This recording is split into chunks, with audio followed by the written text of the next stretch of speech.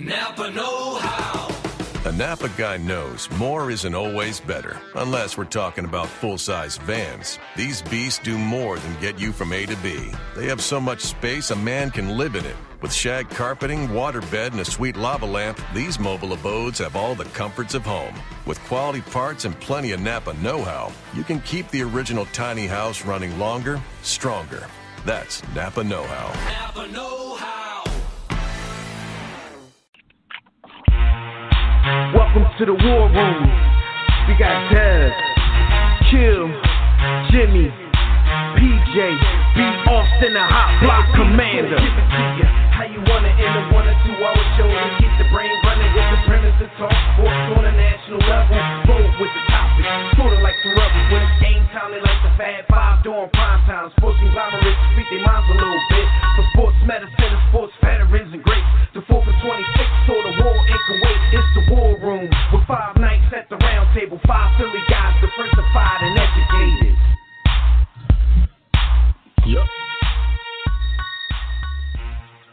What's good, War Room family? You're once again live in the War Room, brought to you by War Room Sports on the War Room Sports Podcast Network.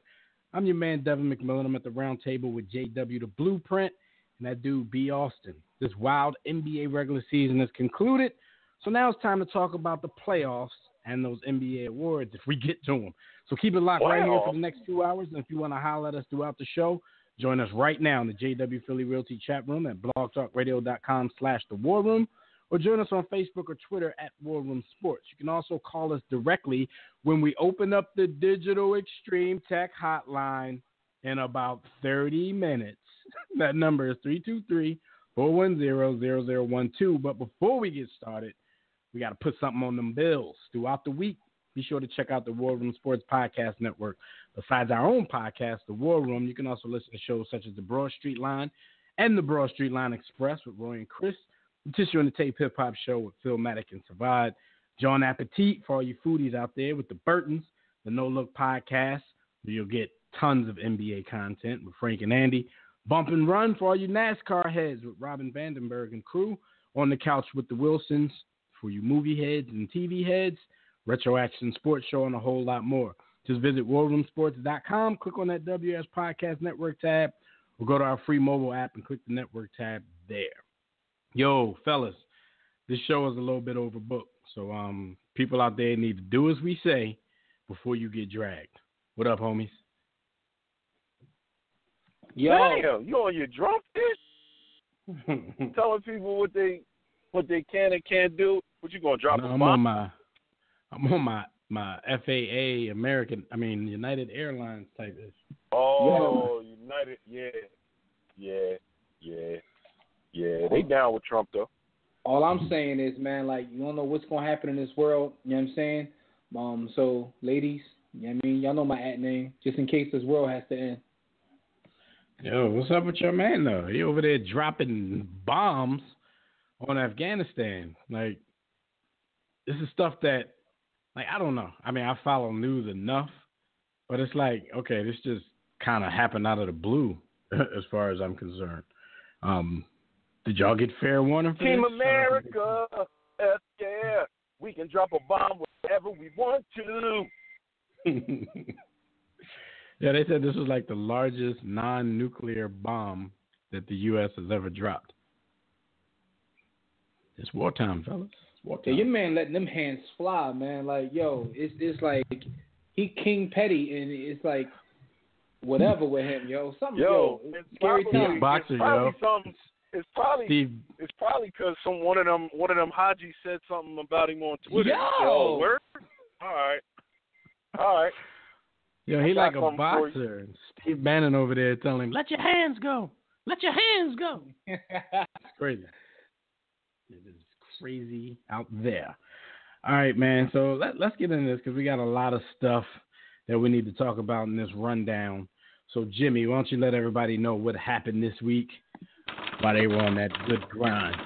Absolutely. And while you were on the grind, is brought to you by DirecTV. If you like a better TV experience than cable has to offer, including NFL Sunday Ticket, go to our website at warroomsports.com and click on that DirecTV logo. Don't pay attention to anything we said last week. Just get your DirecTV at warroomsports.com. Click on that logo. Let's go. It's time Yeah, to talk about what Cable boxes ain't going nowhere. Shout out to UFC. Yo, yo, Fire Stick cut the check. Yo, um, it's time to talk about what happened while you on the grind, though. And uh, the first thing I want to bring up is salute to LeBron Raymond James, who's opening up a school for at-risk youth in Akron. I mean, LeBron has done a lot of things in the city of Akron. I mean, I know you was getting no money in Akron, Jay Ree, but uh, LeBron, nonetheless, you know, he's the king of Akron, and he's he's showing it. He's he's putting his money where his mouth is, and he's doing things to build up that community. So I want to say salute to LeBron for that because that will last a lot longer uh, than your quest to, uh, ch- you know, compete against shadows.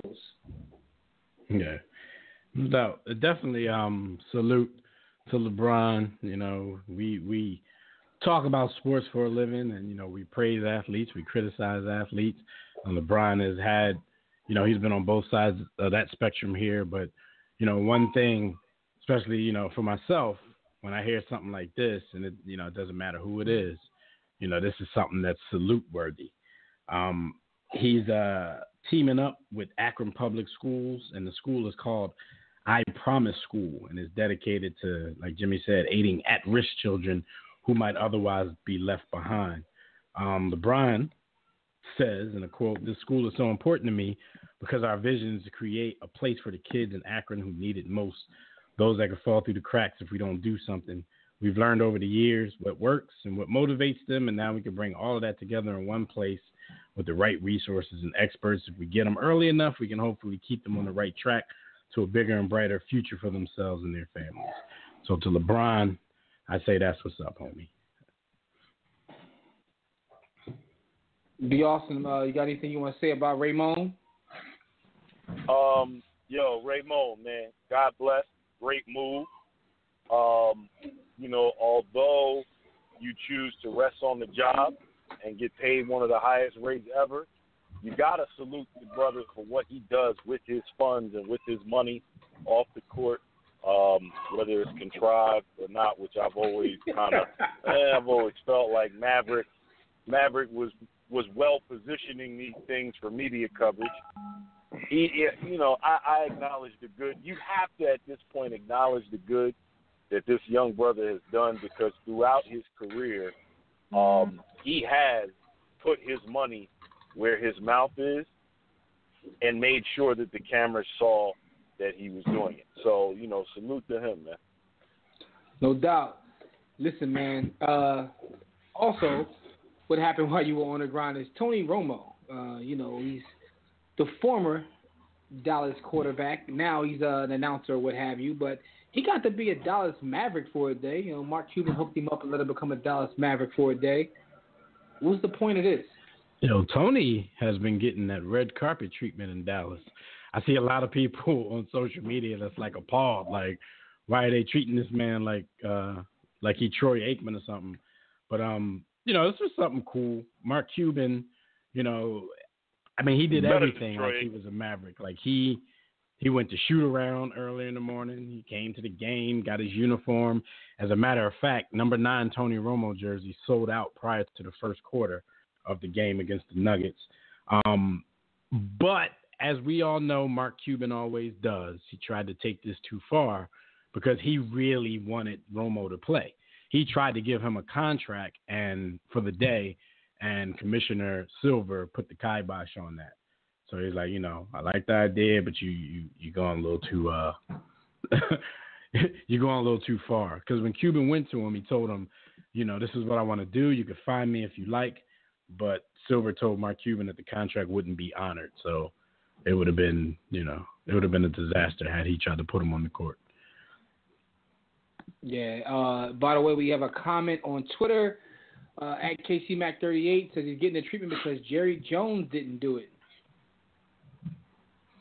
So I don't really get that. Yeah. I, I I, don't Jerry understand that homie. either, but I'm What what is Jerry supposed I to would do? like to- don't own the Mavericks. And football No, season isn't in play. I mean, who yeah, who knows what Jerry would do once football starts? But I guess I don't know. Maybe he felt like I Jerry about should to say there's going to be some crazy tributes once the season starts. But what is he supposed to do right now? He doesn't have his his show place. Like that's not No. in effect yet. Yo, everybody gets tributes and everybody goes to the Hall of Fame these days. Yo, it's ridiculous. That's just my opinion. because That's the argument opinion. has been on in the past couple of days about whether whether or not Tony Romo is a Hall of Famer, which brings up a lot of other people. A lot of people are bringing up Donovan McNabb's name, saying if Tony Wa- Romo is a Hall of Famer, then Donovan McNabb should walk into the Hall of Fame. I personally don't believe that Wow. either one of them belong in the hallowed halls, but that's just my opinion. And y'all know me; I've been a big I- I'm- Tony Romo defender over the years. I guess it. I guess it all Yeah, depends upon. I'm- Statistically speaking, he's right there. But I mean, I don't know, man. They all they both. Yeah. Well, we, I al we I mean, we always know, especially here, we bring more context to, st- to statistics. Um, you know, he, he definitely. It's uh, what I hear a lot of people, you know, they compare these guys to guys that are already in, and we've talked for years about how that's flawed because first of all, the game changes. So because of Tony Romo and maybe Donovan McNabb have similar numbers to Jim Kelly, and he's in the, the Hall of Fame, that doesn't necessarily put them there. You know what I mean? They're in Yeah. a more pass happy, pass friendly era, and and even when with those guys being gone, it's getting even crazier as far as the pass is concerned. Yeah, I mean, if you look at the Um, numbers, right? So I don't. so I don't know. I, oh, go ahead. Go ahead, Jim. McNabb has 92 wins, 49 losses, and a tie. Although he didn't know you can tie in football. Um, McNabb has, and Tony Romo was about 78 and 49. McNabb got about 216 touchdowns. Romo about 248. Uh, McNabb has about 100 interceptions. Romo about 117. Jim, Um, that's crazy though because Romo has this narrative. It's not only just big, big, big moments, but people he just has this narrative of throwing interceptions. But McNabb is always praised for his ratio. But look at Tony's. He has more touchdowns and you know only 17 more interceptions. But yeah. it's Um, public opinion. I, I I'm just, know, I'm I just know looking at the thing. It's funny because I know within exactly their where statistics, Devin's right, going to go with this, within their statistics, it says but Don, Donovan McNabb has nine playoff wins in 11 uh, in 11 years, and Tony Romo has two playoff wins in a 13 year period. Uh, Donovan McNabb five NFC Championship appearances, and obviously a Super Bowl appearance. And Tony Romo has donut on both of those. So I mean, when you bring in the team but he had a he better, really can't. he had a you know. better team. no, I'm But not you making had the a better argument. team. I'm not making the argument. No, I know, we know, one you. Just, no, I know you're not. No, I'm, you're not. No, I, know. I'm saying, I know you're not. if I was a McNabb supporter, which I mean, honestly, I'm just not. But if I was, they bring I would make that argument too. Hmm. Right, right. By, by quoting those, by quoting those stats, you're giving the the the the, the McNabb supporters are going to kind of latch on to that. And I know, Dev, Dev, you've always been a defender. I'm gonna come right out and say it now that his career is done and he no longer plays for the enemy. I, I was like, I was closing in on fandom. Like, I like Tony Romo's game. I like his attitude. I like everything about Tony Homo as a player. I, I just felt like, kind of like you, I, I when we start talking about Hall of Fame, I feel like it should be that special level. So I wouldn't put him on the Hall of Fame level, but statistically and what he was able to do as a player, I think he is closer to the Hall than the other guy because the other guy statistically was never really dominant. I mean, as you dig down in the, into those statistics and not not the accumulated statistics necessarily, but the per game statistics, the per season statistics. Tony Romo played in a passing era, but Tony Romo wasn't a bad passer. In fact, he was a very good passer. I wouldn't put him in the hall. I think people that want him in the hall are overdoing it a little bit, but I don't think that should be justification to even have a conversation about the dude that threw up and then quit in the Super Bowl. Like they're they're I, I feel as though they're on two different levels. I don't know Um, about that. The Mavericks thing, I mean, salute to salute to, to the Mavericks. They looking him out. Uh, he's better than Troy Aikman. I know I'm gonna get slander from Cowboys fans for that. I think they're who cares? he and McNabb are like close to the same level, if not on the same level. Um, I would say that Tony Romo was a better passer than McNabb, and of course, you know McNabb had more team success. But when it's all said and done, I think their levels are, are pretty equal. Even though McNabb feels the need to take shots at, at Romo, you know, often. But hey, Yeah. there's nothing wrong with that. I don't think Tony. I, I, that- I personally spirit. like. Again, I'm not a big McNabb fan, but I'm not a Romo fan either. I think they're pretty much at the same level. Um, I don't think one is really better than the other. Um, but at the same time, I don't think either one of them belong anywhere near the hall other than to visit. So, Tony Romo is is number four all time in quarterback rating, behind Rodgers, Russell Wilson, Tom Brady. um, after him is Steve Young, Peyton Manning, Drew Brees, Philip Rivers, Ben Roethlisberger, Kurt Warner, whatever. Well, once you said once you said Thirty once second. you said but once you said once you said Russell Wilson is like third Messed overall all time, it don't need that stat you can just throw that right out the window. Like, who cares? Anyway, um, listen, man. Speaking of the Dallas Cowboys, who uh, seem to stay in the news even when there's not a season going on, Dez Bryant comes out and says that black people are holding themselves back. Um, you know, we often see this in the, in the media with athletes, where you have some that uh, you know, want to fight the system, and others think that instead of fighting the system, we need to fight ourselves. Um, you know, no one some people don't. says Some people don't acknowledge the system. yeah, so that's the thing. Some people don't acknowledge the system. So I guess the answer really lies somewhere in the middle. But the fact of the matter is, it's either, it's either one extreme or the other. But uh, what do you guys think about Dez? B. I, I don't like. I mean, for me, like I like I just said, it's it's it's just one of those in, instances where somebody sees their own success, even though he started out, you know, in a in a in a difficult place, you know, but was a gifted athlete, made it out, has become a millionaire, and you seem to overlook and maybe forget if you've ever known about what happens in America and how the playing field is never equal. Like it's easy for you at this point to come out and, and tell everybody, you know, we got to look at ourselves and this and that. But there's a lot of people out there who are doing the best that they can for themselves. Yeah, I mean, you got some black people with two degrees and, and, and they get positions that are lesser than their white counterpart who barely have one. So I mean, that's the the reality that we live in. So Shout out to NIST. I'm not saying that Dez can't acknowledge both sides of this because everybody, no matter what's going on, you have to want to do better. You have to want to make better for yourself.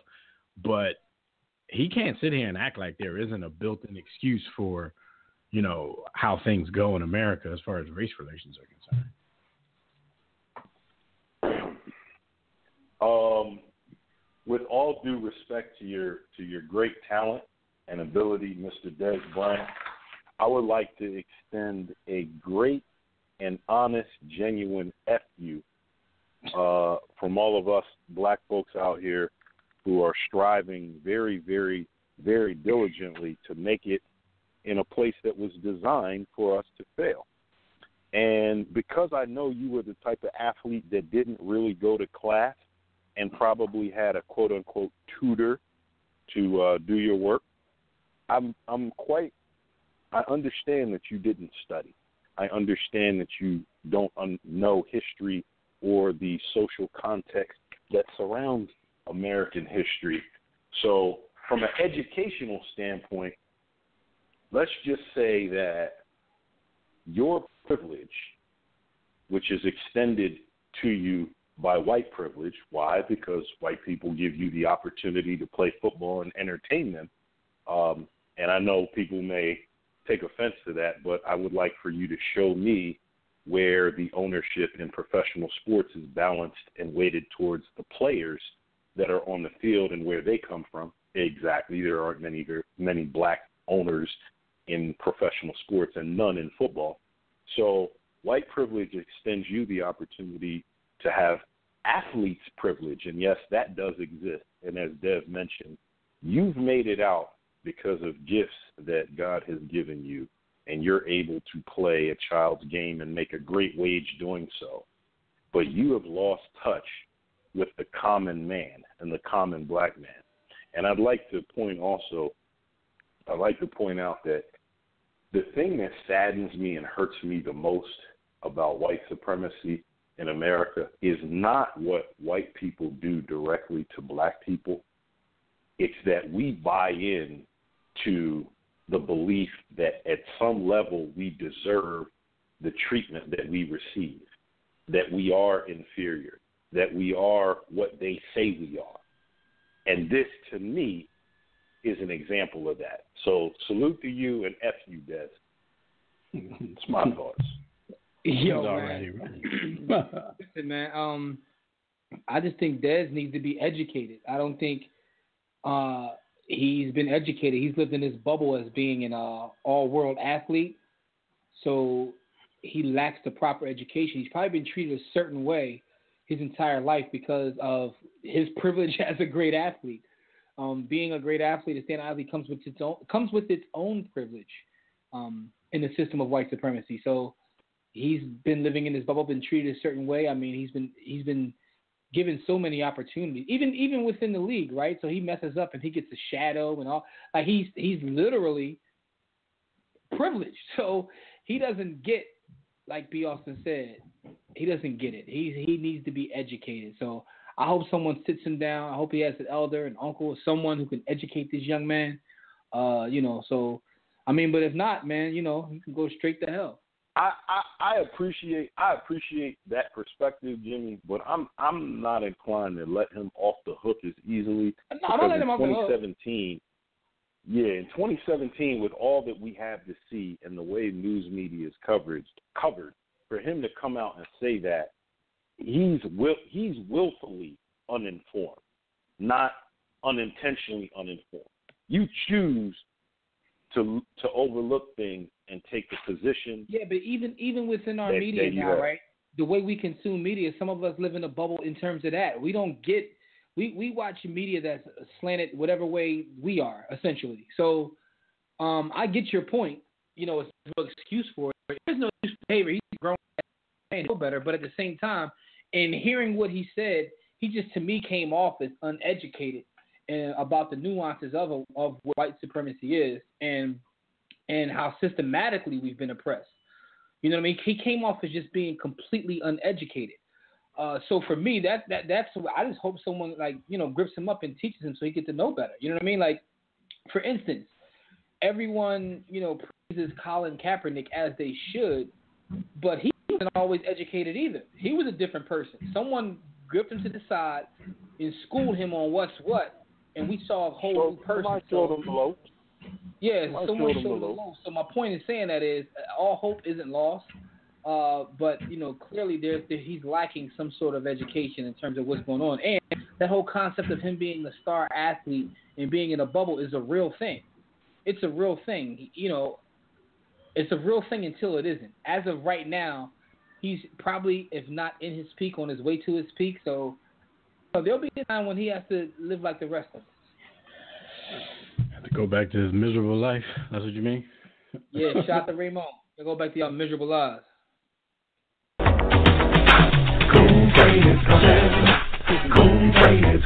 What about black on black crime? Where's the white women at? All white people ain't bad. We is our own worst enemy. What about black on black? That sounds just like his quotes.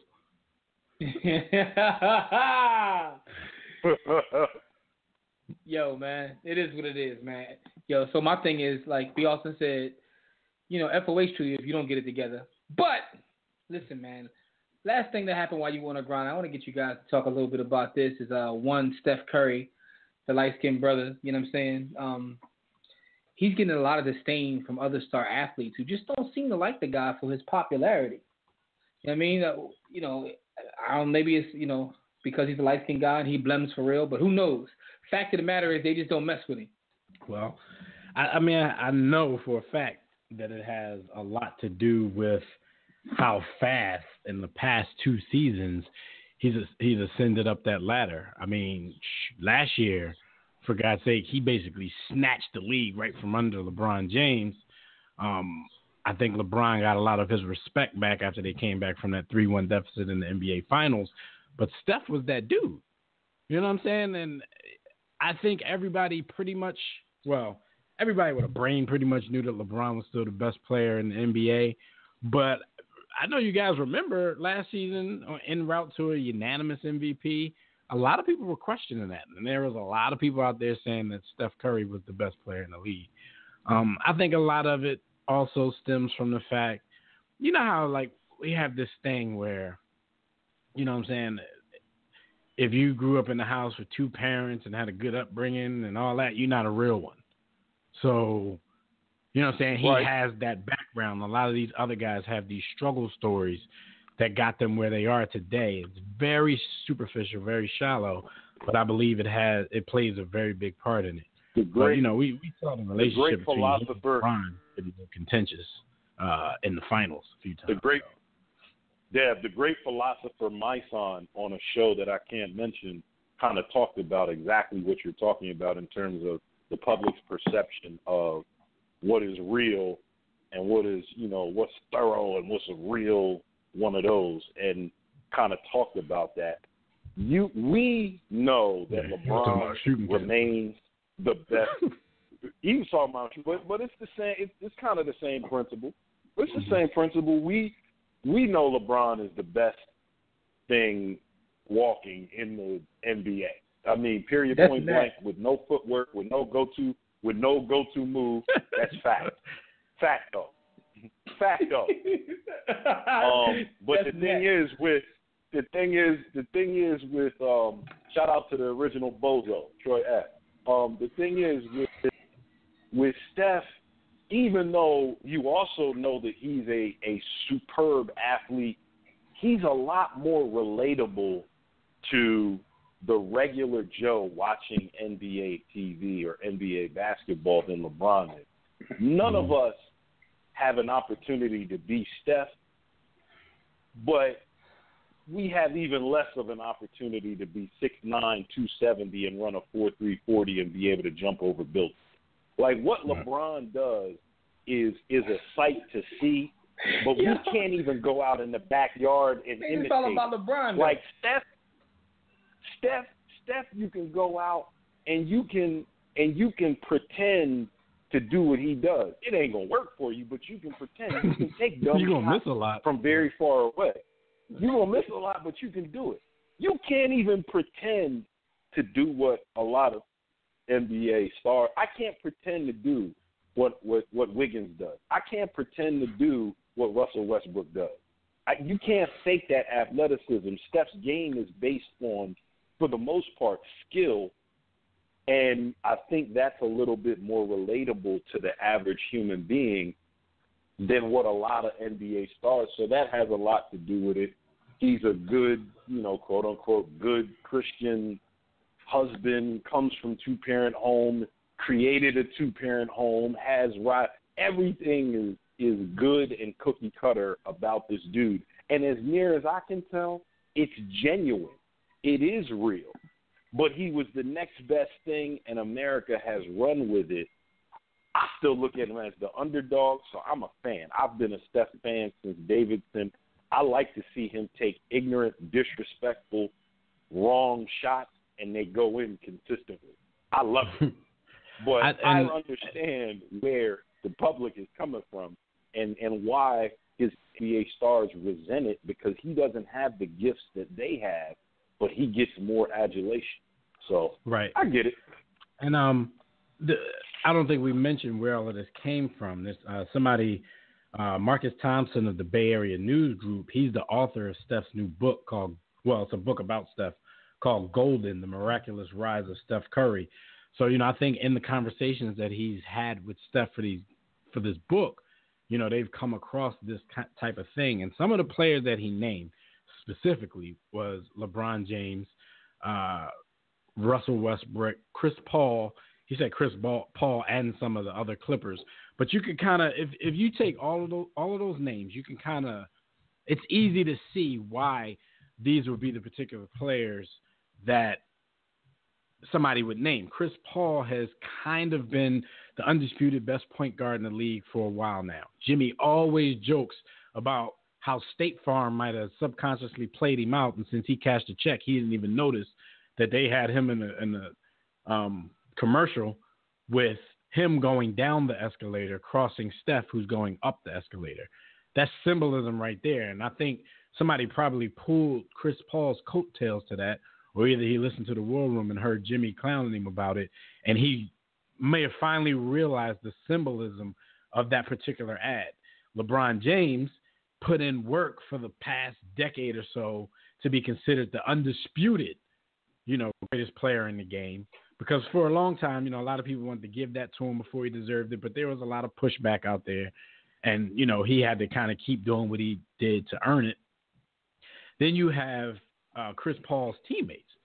Like the Clippers, you know, they've been Golden State's whipping boys for the last three seasons. So I can kind of see where they would get disdain from because they were supposed to be that team that was next. And then Golden State and Steph Curry kind of leapfrogged them, you know, smacked them up in the playoffs a couple times and and left them being next after next, which is not going to work because they're getting old and all that kind of stuff. And I think it's the same for Russell Westbrook with Chris Paul being the undisputed top point guard in the league for the past several years before Steph jumped really jumped onto the scene. I think that he envisioned himself being next, and then. but but here's Steph my thing, right? With back to back MVPs, like it's easy to get jealous over that kind of stuff. But here's the thing to add a little bit more context into it. Like, and, and I read the article. I actually listened to it. He he mentioned this on the podcast. And when you listen to it, he's not saying that any of these guys directly told him this. He's like reading into Right. body language and things that they may have said to somebody that told somebody else. So to me, it it kind of came off like my man just put a book out and he got a book to sell. So this is the headlines to get his book out there because I ain't gonna front. I almost bit when I read this. I'm all about hearing people spill tea and, and, and spit bars at each other. So um, so but when I actually like really paid attention to what was going on, it's like, yo, you don't know LeBron feels that way. You're making that up. And because he also kind of played Steph out, talking about how Steph feels sad about that. He wants everybody to, around the league to like him and respect him. accept them. Yeah. Yeah, like I- he, he I don't- played him out like- too. it could possibly be a reach, but just looking at things myself, like I don't see these guys, especially in today's NBA where everybody's kumbaya and everybody rides banana boats together. I don't see them getting into stuff like I've seen with like I've never seen LeBron really that serious with somebody as he got in the NBA finals. But then again, it was the NBA finals. This is do or die. You know what I'm saying? This is for all the marbles. So if he has a couple of contentious moments with Steph, they bump each other a couple times. It's just you, you're not really used to seeing LeBron be that aggressive and kind of be But that you know what bully though? when he I could be. And then I, I he embarrasses Chris Paul off the dribble so much he can't like it. He can't. yeah, I, yeah, I'm about to Yo. say he, he, he yo, He can't yo, like it. Like I, Yo, if I'm wait, Chris yo, Paul, if Chris- Yo, yo, he if comes Chris Paul- into the if I walk Clippers. past him in the He comes into the he comes into the Clippers arena and he does work on Clip Paul's hairline and ankles. But it, So but is, yo, but that's is just he not supposed to go like at Chris like that? If Chris is that dude, My thing is this though: if Chris No, Paul does, if Chris to. Paul Yeah. does like him, I have a problem with that. And the fact of the matter is, this is what happens when you ascend that way. Like you, like when LeBron was on the come up, yo, they hated him. The Celtics and them all them dudes, they hated him because Mm-hmm. even though they were beating him, he still got the spotlight, and they hated him for that reason. So, like, listen, man, heavy is the Yo, head that wears the they crown. When hate you start Ray Allen because he went and played with him. I mean, Listen, I, I. I think it's a corny move for Ray Allen, but yo, they will I would hate Ray. that man again I in hate life. Ray too. no, but Yeah, no, people, no but- doubt, yeah, no but what I'm doubt, saying uh, B. But it's still womanly not to speak to a dude.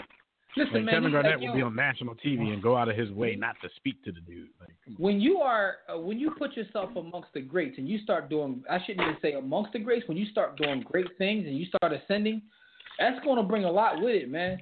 It's it's in the, in the words of Christopher Wallace man more money more problems man. And you know not specifically money but when you start getting the accolades and you start getting the commercials and you know what I'm saying? You making a company stock jump up a gazillion percent when when you're you, you're starting to become the face of the league. You're doing dudes- LeBron type stuff. Essentially other dudes should be mad at you. They shouldn't like you. Hmm. That lets me know there's a little bit there's a little bit of uh, machismo left in the league. Yo. Not much, not much, but they shouldn't like you. Not a lot. Can, can I can I point can I This point something out? machismo And it is is a read it is a read in. This is jealousy over stuff It is a that ain't even basketball related. Yeah, that's woman. That's actually womanly, Jimmy. that Compete, ain't competed machismo. that too. Can Listen, I, can man. I, They trying to get this bread. can- My fault. Go ahead, go ahead, B.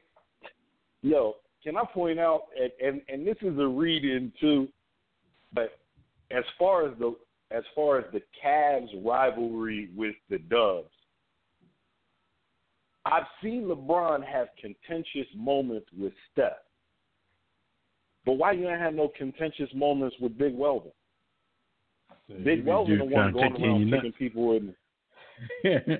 he the dude trying to take you take your baby maker out, but you ain't had no problems with him. You got problems with a little a little light skinned boy. Come on, Because man, LeBron, Weldon- like that. Welvin ain't take his spotlight, and and Wells, mm-hmm. you know, he might not be able to beat Wells. So you know, it, Listen, man. it is what it is. But you know what? You know what else though, guys? Like LeBron has his crew. You know what I'm saying? He has his crew in the league, and it could be one of those things where if this was somebody from the Banana Boat Boys who ascended like this, you know, he might not have had a problem with that.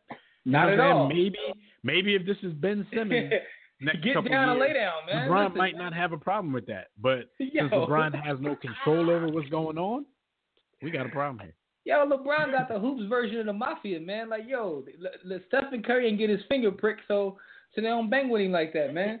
It is what it is, man. Get down and lay down, man. Listen, man, it's cool though, cause 'cause all he did was send send one of his homies, uh, Kevin Durant came and took his shine anyway. So, you know what I'm saying? Steph not even mentioned for MVP no more. Yeah. That and that's another funny thing though that came up when I was uh, reading about this particular story about Kevin Durant was one of those guys. You know what I'm saying? Now he plays with the dude. Remember, Yo, you know the they more- yo, the they, had, they all had some moments during KC. more stories that come out remember when about they asked KD, him about Steph's defense, and he and Russ laughed at the ball on national TV about his defense. Yeah. Yo, it's funny though, cause like the more stories I hear about KD, and I was one of the guys that was like, look, do what you want to do, man. It's free agent, go play what you want to play. I don't care.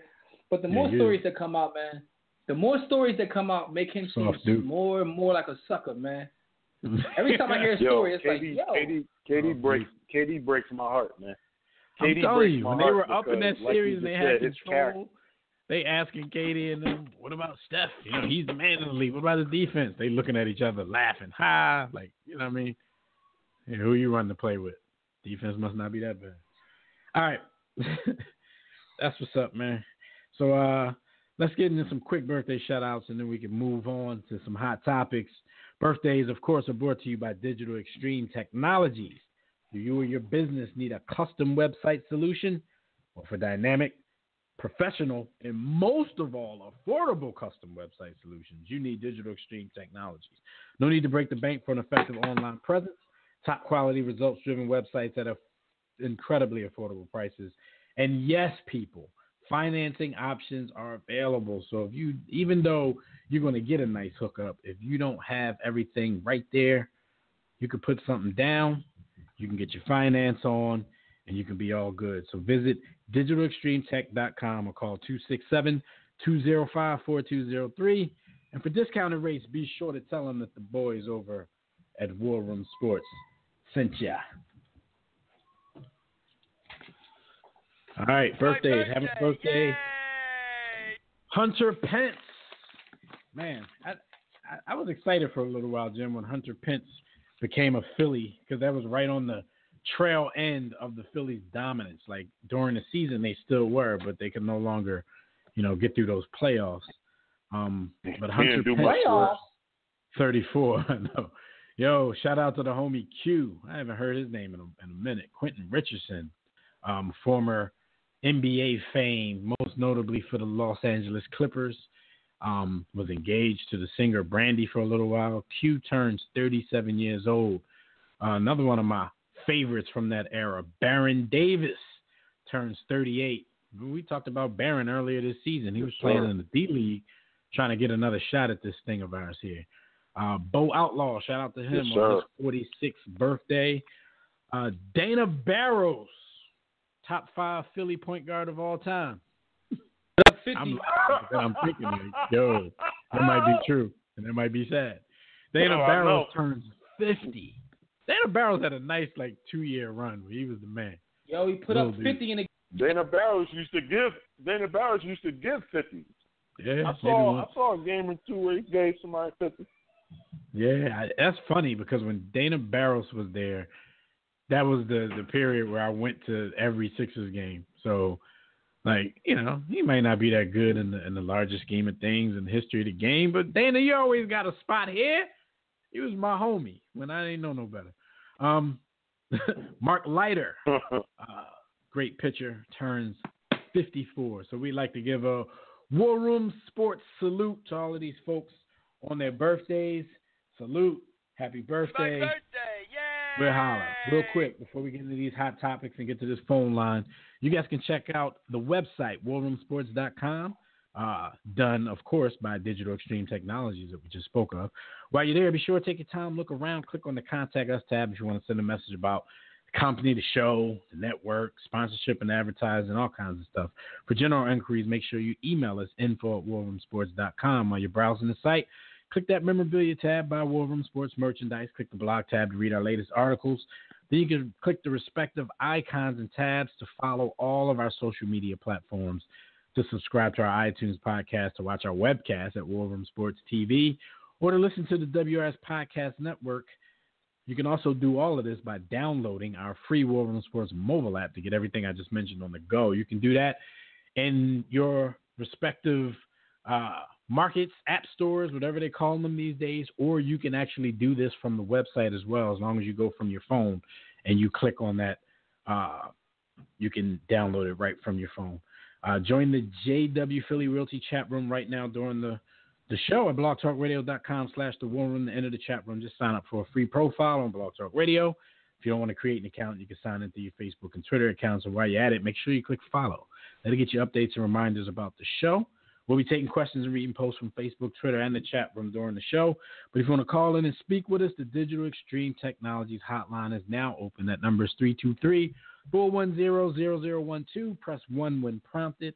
If you happen to be listening from your phone already, just press 1 if you want to talk. And I see we got a couple calls on the line. So we're going to get into this hot topic segment, but we're going to, you know, before we actually talk about any of the stories, we will go to the phone lines. But before we do that, Jimmy has to let you guys know hot topics are brought to you by. Absolutely, without a doubt. If your schedule is too hectic to read as much as you want, audio books and kick and let someone else do the reading for you. How do you do that? audibletrial.com slash war room sports. That's audibletrial.com slash war room sports. There's a lot of amazing books on Audible. Um, a lot of amazing sports books. So make sure you check it out. Get a free book on us. Go read about the history of this thing. Read about Bill Russell. Read about Wilt Chamberlain. Read about Julius Erving. The game did not start with Michael Jeffrey Jordan. Read about how he's the sellout that never helped anybody. With that being said, go to Well, good. audibletrial.com slash war room sports and uh, shout out to Audible for their support of the war room. no doubt. Um, let's go to the phone lines before we get into these hot topics. Uh, we got the homie Phil Maddock from the Tissue and the Tape Hip Hop Show and on the couch with the Wilsons. Bill, what's going on, good brother? Welcome to the war room. You're good, fellas. What up? Brother Phil, Phil. Phil, before you jump into it, man, what you listen to on Audible these days, beloved? Oh man, I'm listening to uh the the Big Payback by uh Jeff Chang. I, in fact, I just finished it for the for the like the third time because I, I always got to keep my knowledge yeah, up. You know what I mean? So I, so I can spit these Yeah. bars with with authority when, when I, I, I'm de- I definitely, you know what I mean? I definitely peeped that. I definitely, it's one of the best hip hop books on there. I definitely peeped that book. That's a Absolutely. pretty good book. Yeah, pretty good book. How you fellas doing, man? Good to get get to get the full three man weave back in effect. You know what I mean? You already know. Oh man. Be Austin Lay back from saving babies and about- delivering water. but yo, uh, real quick, I ain't gonna hold you. I just wanted to, a couple things, yo. The the boy Dez. I, I I have to say this very carefully, so so it, it doesn't get misconstrued. What he said was a hundred percent true because he was talking about himself. The the the black problem, the the the, the problem for ourselves is people like Dez that perpetuate white supremacy by saying the things that he said, which gives them the justification to continue doing what they're doing. Not like they need it anyway, but and then Bars. it makes people like, oh well, it ain't really that bad, you know, because I see what you did cool there. and he wears star, and you know what I mean, you know, so it's Yo, people like I him. thought I thought Phil said problem. Dev. He said Dev. I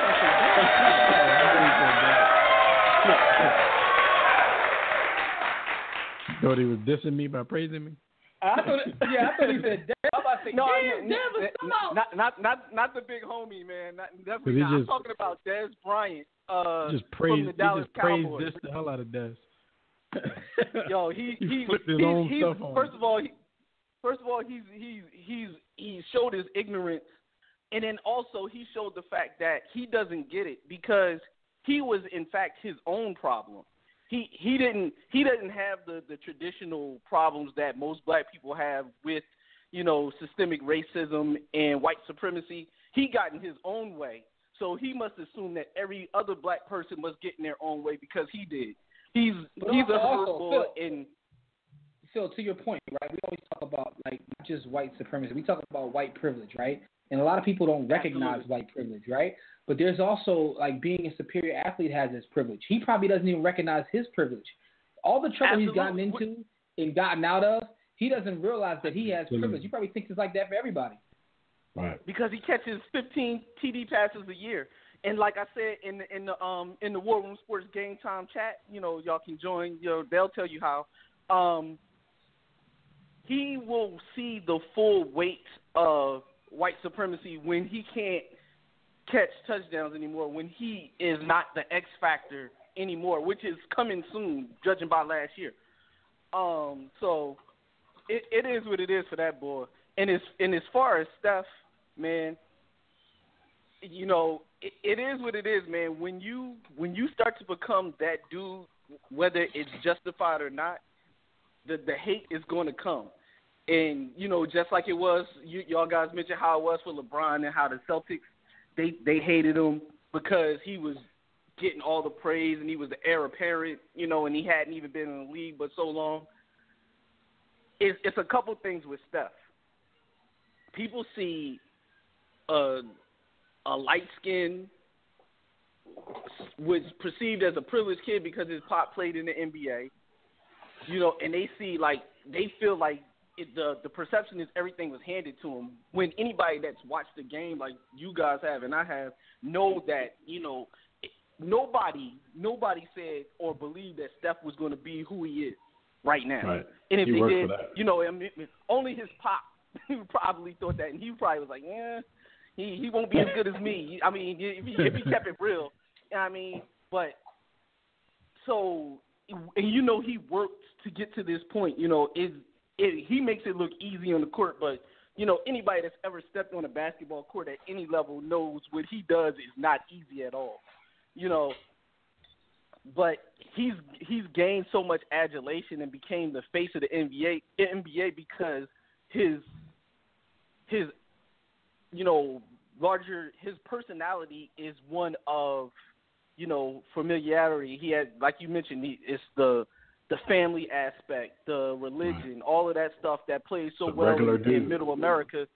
Yeah, he he he feels Right. like you know you can have a drink with him. You know what I mean, or or you know Yeah. drink milk with him if you in will. in in Uh, every so- in every in every way in every way alcohol, they have just anointed they've anointed him they've anointed him as the everyday man whether Yeah. that's true And- and- we know that's fallacy but he's the everyman But you in the what? NBA Yeah, and and, and to Phil. quote the great philosopher Beanie Sigel, you know, I didn't even taste this dream. I feel sorry for those who did, because those dudes they want that adulation that he's that he's been handed. Listen, Like, I mean, I'm sure he's not shying away from it, but he didn't chase it. It- At least it, that's the way I I view it, it. it's it's kind of weird, right? Because when you think about it, Kobe had this kind of perception of him being a privileged kid, but Kobe was so Mhm. like so much a demon on the court that even the dudes that grew up like you know quote unquote uh, street respected him because when it came to basketball, the boy was a savage. Yeah, exactly. And it's like. Like this boy, like you know, and it, it's it's funny though because you see the same thing with Westbrook. People can't relate to Westbrook because he's such a killer. Like you know, old He- he's weird, yo. Yeah, but but at the weird. same time, at the same time, like this dude is like, for all intents and purposes, is a nice guy. He comes off as a nice guy, he doesn't seem to have that killer. Although I think he may have a little bit of that killer in Oh him. no, he definitely has a killer. You can But- see it when but- he but he it gets doesn't away come with a across lot the same way. Like, getting you know- and, uh, throwing his little shots at people. but it doesn't You come know, and I across think the they, same they way. feel some type of way about that too. And and here's the thing though, I think that Draymond does a lot for him even off the court. Like Draymond takes the heat. Like he's the bad guy, so he like takes As he all the like man. that negative energy. Like he takes all that negative He's his energy. Rick Mahorn, yo. Exactly. So he takes all the negative energy. Like Isaiah was a little savage too, but Rick Mahorn and him took that little energy until years la- years later when everybody recognized that yo Isaiah was the catalyst behind all this evilness. Yeah, man. Like, but he had Laimbeer and and Mahorn, you know, getting grimy for him, and he just be smiling. Meanwhile, he uh kicking you in your back.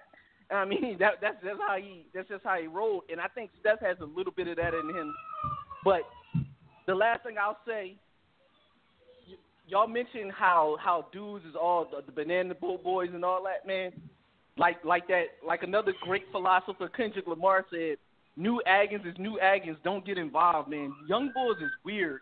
They they they they want to be friends, but then they get jealous of each other. It's it's like it's like uh love and hip hop in the, in the NBA right now, yo. Friends. Yo, that's all they want, man. yo. Yo, shout out to They you, be Phil. they do jealous of each other's dye jobs. Yeah, Yo, man. Phil. Phil, King Kendrick comes out in five hours, man. You ready? Yo, oh, I I I, I, I was ready on the seventh when he first told me it was coming out. And I mean, That's what I was about to say. Like Yo, I checked for it a couple weeks ago. Like what the That, hell that's happened? that's how that's how I know he a real one, yo, because he on he on CP time, yo. Like he he was like, But- yo, yo. But let me, ask, let me ask you, let me ask you a question. He was like, though, "Oh, right? I forgot something. I'll be right back." Let me ask you, how much do you think he paid for that new album cover though? That joint was definitely done in Microsoft Word. Oh, yo, man, he put all the mo- he put he, he put all the money into his video budget, yo. That, Yo, and all that, that money and that goes, joint wasn't even like, yo, that picture like it was taken on the iPhone 4. Yo, I, I could have did that with, with my with my little setup, but you know, I mean, Kendrick, get at me. You know what I mean, I, I got I won't even charge you what they charged you. But Jim, that um, was a disposable camera picture. yo, that joint was trickety He, ass, he yo. threw that away after he he, had got that. he had one of them. He had one of Last them time y'all little got filmed cameras with the with the flash on it that you got to connect to it. You know what I mean, one of the long yeah, cameras. on right? it. Because um, everybody Yeah. knows that like all, all of 32 us are huge, yo, all of us are like huge Nas fans, right? So, but it's funny because like Nas was in this space kind of where Kendrick is, where you recognize the fact that whether you like uh you know Alien Voice Kenny or not, you recognize that he puts thoughts into things and that he's a thinker. So when you see something like as trash as his album cover, you start trying to like read too much into it. What's he trying to say here? It must uh-huh. mean something. That's what we used to do with Nas. When Nas make a trash song, we somehow try to figure out what he's really trying to say to it. Anyway, Yeah, did a lot of figuring during Nastradamus. But yo, I get it. Like, I was on Nastradamus like Y'all just making crazy, stuff up. Like, okay, I see what you're talking about. Because you know the Moors back in those days, they like Yeah, he you just be making stuff up. So you start get, you start getting your Michael Eric Dyson on, man. Uh-huh. Oh man, Anyway, man, salute to you, Phil, man. I know I know once the album drops, you guys have something to say about it in your next episode, man. Which you know comes oh, from War Sports Podcast man. Network. And um, So we'll be on the yeah, lookout for definitely that, check man. us out on the on the War Room. Uh, you can check us out on iTunes, do all that, and then you know also check for On the Couch with the Wilsons. Um, we got we got some good stuff coming up with Netflix, so uh, more more about that as it as it unfolds. No, did y'all? But did y'all watch Thirteen Reasons Why yet? Um, no, Yeah. it's it's on the list, yo. In fact, the, the last thing I'll say, uh, hit us up. Anybody that that got something that they think we should watch, or they got questions they want us to add, answer, hit us up at we are the Wilsons TV at gmail dot com. I just gave And, you a you show, know- yo. I need I need y'all to watch that show, yo. Thirteen Yeah, I- reasons. I It's on the need list, to- yo. I need my kids to get older so I can leave them alone and I can get back into my TV grind. Like I still grind, doubt. but I want to, you know, I want to grind enough where I can be a, uh, you know, once in a while guest on on the couch. That's how I. That's how I used to go. You know what I mean?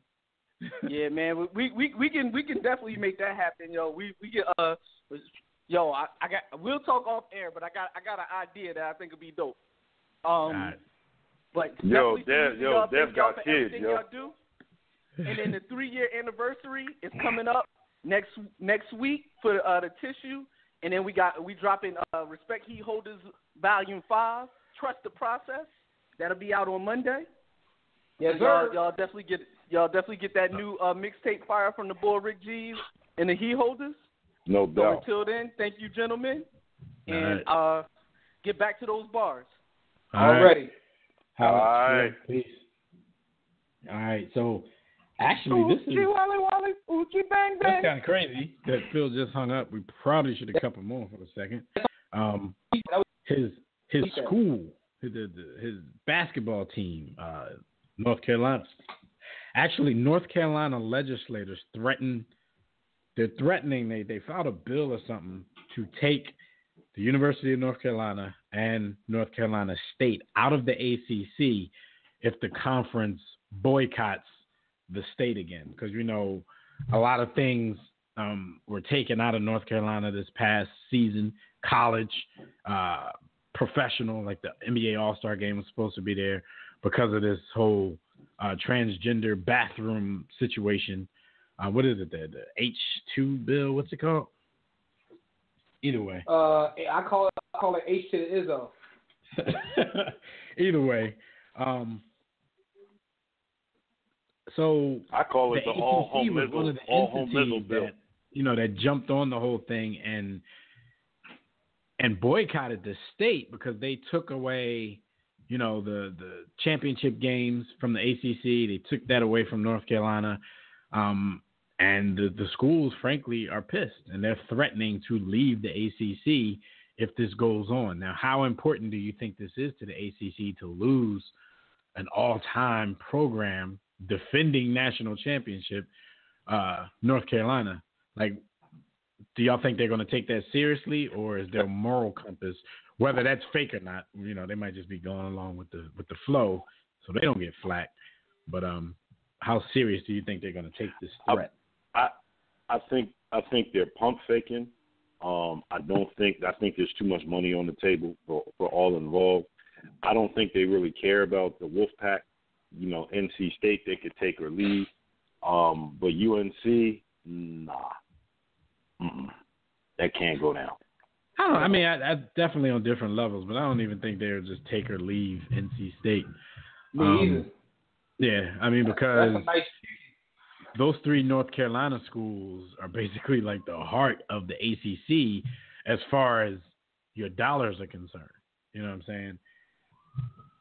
Yeah, it it it, it was House If that- Bill if that's the 728, which was filed on Mhm. Tuesday, which states that any public state school and a conference that boycotts North Carolina will be barred from extending any grant of media rights to the conference and shall immediately provide written notice to the conference that the con- the constituent institution intends to withdraw from the conference no later than when the assignment of its media rights expire, unless the conference immediately ends the boycott. So the state of North Carolina is is hitting back, and ACC is the first entity in its crosshairs. Interesting. Yo, man. Interesting. North Carolina. Let me let me add let me add this because I'm a little I'm a little I'm a little confused. Um, the the colleges were on the side of the bathroom law or against the bathroom law. Um, I don't even think the colleges and what position they took as a university even matters because they're state schools. So it's actually the Right. state, you know, because this is the state that everybody has been boycott, boycotting. The state is basically just telling the ACC, if you continue to participate in this boycott, we're going to take, you know, these North Carolina state schools out of there. State I don't think they can do that with. Duke. I believe Duke is a private school. Um, Yeah. Duke is so they private, can't right. threaten they can't threaten Duke, but North Carolina State and the University of North Carolina, you know, the state controls whether or not they remain in the ACC or not. So I don't think it even matters what anybody from the school would tell you. If the state of North Carolina says we bouncing out of the ACC and they're not bluffing, then they're bouncing out of the ACC. Which is crazy because like that's that's probably one of the reasons why Coach Kujijiwuski, aka Shashevsky, um, came out and uh, you know said what he said. He spit his bars about it because he probably had no fear in the world. I mean, also probably had no fear in the None. world because he's because he's Mike Kujijiwuski, meaning that even if he were to get reprimanded, he have a job tomorrow. So you know, um, you know, that, that must be an amazing feeling when you know that no matter what you do, someone was willing to throw you a million dollar check. He Anyway, don't, um, even, he don't even need a job at this point. I mean, he probably doesn't, but the fact He remains, just like, know, if- like, go ahead, say something to me Yo, if you want. yo, I'll Coochie- leave, and my presence will be missed in the game of basketball. Peep this though. If Coogee said Does anything he out of does pocket, does does Kuski Wooski have the same level of like a Bobby Bowden or a, uh, he got, uh, a in my opinion, Paterno? in my I think he's he's number one. Yeah, I he's think he's bigger than number one. guys. Paul. Uh, number one. Yeah, I come think he's on, number man. one in, in college Listen, man, athletics. let, let's keep Yeah, it a number buck. one. Period. No, Him. No shot, no shots. But Joe Yeah. Pa's last last twenty years, he was living off of the fact that a young Joe Pa. Like, let's keep it a buck. Coach K is still out here competing for chips. Didn't they win a chip last year?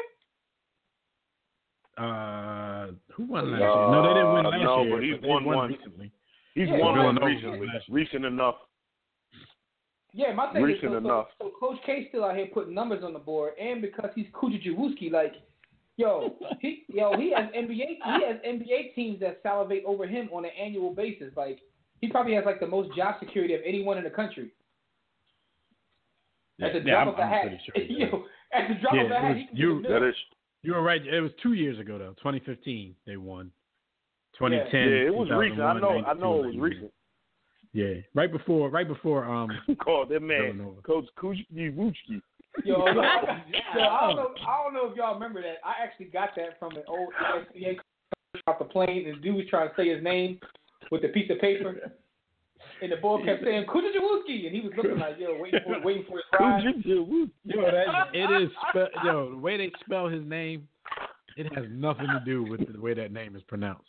My man So- name is Shashevsky with no S's in it. Yo, no S's, no H's. Where they get Shashevsky? My man name is Kujajuwuski. It's like Chris Chris Bushki or something like that. Come on. Anyway, man, salute to Coach. the Just guy, call though, him man. K. Because yeah, Coach. exactly. Because Coach K has the most job security of any employee on the face of the earth right now. Yo, I just want to put it. I just want to put it out there, man. Like when it comes to North Carolina collegiate basketball, I hate all them teams, and that has nothing to do with what we're talking about. But I hate Duke. I hate UNC. I I don't think the NC State matters enough for me to hate them, but I, I just I can't stand North Carolina collegiate basketball. But here's the question. The big question with that be also is why. What'd You you say? hate them You because said they're why? good? Uh, no, they're great. They're great. I, I don't like Duke because um, the ignorant uh, side of me has bought into the fact that they don't produce real ones. Yeah, I Um, respect you for being honest I- about that. Oh, you get I your hate Jalen. on. UNC. Yeah, yeah, yeah, supportive of Jalen Rose's position. Um, UNC, I hate because they haven't been good since men wore women's shorts in basketball. To me, like I, I just can't appreciate. uh, they're- Not that they haven't been good; they've been great. But I just, I haven't. You know, when Mike left, that took the air out for me. I- Damn! So Mike, I, I you going you going I don't. Uh, Damn. Yo, he said, Yeah, when Mike, yeah. yo, he said when Mike left. He said when Mike left. Damn. Damn, hold, old up, head. hold up though. You know, I'm gonna give you. I'm gonna give you my problem with Duke though. Here's my problem with Duke. And it's, it's, it's, it's similar to B. Austin, but it's not exactly B. Austin, right? So B. Austin said we call that the Jalen theory, right? About them being, you know, white kids that act a certain way. But my thing is, I know they're all not that, but the student athletes there have, bought into that. Like they come off like that. They they buy into that themselves and act like they don't come from the same place. as a lot of- You know, like some of them who, you know, all of them aren't two family. They're all not Steph Curry's, but they act like it when they get there. A, a, a um B. You know, North Carolina got four chips after Mike left. yeah, I know. Yo, I and know. the thing was, Yo, before Mike yo, they hadn't won you, a chip you, in 25 you didn't have years. to. You didn't have I'm- to point that out. I was struggling. I was struggling for a reason for my hate. I really ain't got none. I just Well, hate I said Mike. I I Man, I've been like- running across a lot of it lately. Yo, I ain't, I ain't Hey, like UCLA I got no reason Kareem to hate. All right, well, we got uh, uh. more. Um, you said since Kareem left. Damn, we got um bang with Kansas since the Dipper left. Um, let's go to the phone line. We got a couple more calls. when you say the oh, dipper, we had the homie. and when you say the dipper, you could be you could be talking about cigarettes, so that could be Mike Beasley because you know he like to dip his cig. No, no, never mind. Go ahead. We had Bad the joke. homie um, Bad Tobias on there. He must have banged out. Jim, uh, screen team real quick. I'll just go All on right. to the to the next. Real quick NFL note before we get to this uh, next phone call here. Um, the Seahawks are reportedly working on a deal with the Raiders for Marshawn Lynch. Um, because we all know that Marshawn Lynch plans to unretire. He has yet to file the unretirement paper, um, but he wants to go to the Raiders. So the Seattle Seahawks have to oblige him when he uh, when he unretires. They're working out a deal with the Raiders. Um, I think the only thing holding it back is they're actively negotiating um, a deal with the Raiders. I'm not going to say long term because he's you know he's not a, a, spring chicken, but I hear that the deal that they're working on is going to be highly incentivized, which is which is smart on the Raiders' part because you know you do want Marshawn Lynch if Marshawn Lynch becomes available, but he has sat out of football for a year. He's not the youngest dude you know out there, so you hit him with a bunch of incentives. You know, you hit this mark, you hit that mark, and we'll look out for you. So that's I'm latest. just glad. I'm just glad the brother. I'm just glad the brother's back in football because I understood exactly why he retired without him ever even telling the world, and he kept it. He kept it honorable because I think he respected the band of brothers principle of the locker room, so he didn't really throw people on the bus. But Right. his retirement started when Russell Wilson audibled out and called that play and threw the ball to the other team. That's when he retired. He had to get out of there at that very moment. He couldn't And now you know he's going to go back to the crib and, and play for for his Yeah. Raiders. for a couple seasons Um, before they and they are saying the Raiders can make the trade with the Seahawks before he is formally reinstated, but if he, uh, they said he would be required to be fully reinstated as soon as a new contract is signed. So they're working on that as we speak. If they haven't already gotten Yo. it done, um, we're gonna go to the phone I line. was I was gonna say real quick before before we bring Joel on, I was gonna say like um uh Six Flags in Bowie, Maryland. I'm just looking at the news coming across my screen. There, yo, there's a coaster ride with people stuck at the very top, yo. Um, There's a what ride? know- A, ro- a roller coaster. Superman. I don't know what the name of this show is. It's on the news. though. On Superman, live. that hoe. You. So I'm pretty, I'm pretty sure it's on your Oh, local man. news, yo. But they stuck at Yeah, the that's- very I top, mean, yo. That They at park the is very five top. minutes from me. Yo, they're at the very top of that Oh joint, yo. man. I gotta Stuck. that on. Oh man. I, yo, I never trusted that park though. It was a, you know, Daniel Snyder. Too many black people. park. Enough said. Oh, Daniel Daniel Snyder. Snyder. Daniel Snyder don't care. Yes. Yeah, he it don't wasn't care about always a Six Flags. I think when he bought it, they got It down with Indian the Six territory. Great Adventure. Oh, so Oh. I always thought it was, you know, a little bit of a, a knockoff, you know, a, kind of a whack park, but you know, it's the closest thing we got. So I've been a few times, but yeah, Daniel Snyder owns it. Yeah, it's so corny. Total disa- total disaster. Total. Hey, Disaster. Dev, I like how you made that. Total related, by the way. disaster. huh? I like how you made that sports related. Oh yeah, no doubt. Look, uh, we're gonna go to the phone line, and I know what this is about, so we might as well just give you guys our stat of the week. Um, our stat of the week for this week: Russell Westbrook breaks the record of Oscar Robinson. Go. Um, not only is he averaging, no, not only did he finish the season averaging a triple double, but he has 42 triple doubles uh, in the season. Uh, on the phone line with us, we got the homie Joel. Y'all probably remember Joel. He he used to come on with us and and and talk. Uh, Yo, sports, WRCN basketball, Deporte. uh, other things. But Joel Rodriguez and I have been having some conversations about this whole Russell Westbrook thing, and we finally get to talk about it on air. Joel, welcome back to the show, brother. What's going on? How you been? I'm doing great. Good evening, guys. How are you guys? How are Um, you, sir? Man, We're good. Doing all right. We're yo, good, man. yo, how how old is B, man? That he quit. North Carolina after Mike left. Yo, boy, yeah, just- uh, Joel, he I was leapfrogged I us was all in running age. Oh, Like, hey, I ran out. what I'm I ran Like, out of damn thought. it. I ran out of Like, thought. so dang, I all right, hated all cool. That was honest. That That was was- honest hate, sort of like your honest Yeah. blessing. Yeah. Once Well, he admitted I it can dig it. afterwards. Speaking, Like, was, speaking dang, of he hate, saw he saw he saw Lawrence Taylor in college. Jesus, that, that's a long. Yo, I didn't. I didn't like. I didn't like. Don, I didn't like Dante Calabria. I didn't like. You know Ed Cota. I didn't like none of them Alright. dudes. Go All ahead. right, all right. Well, anyway, yeah. right, so I, I look, I just I just Speaking want of to put hate. it out. I, I, and I've never called you a hater before in my life, but the conversations Okay. we've had lately has put you He's in hater. that territory, at least about this topic.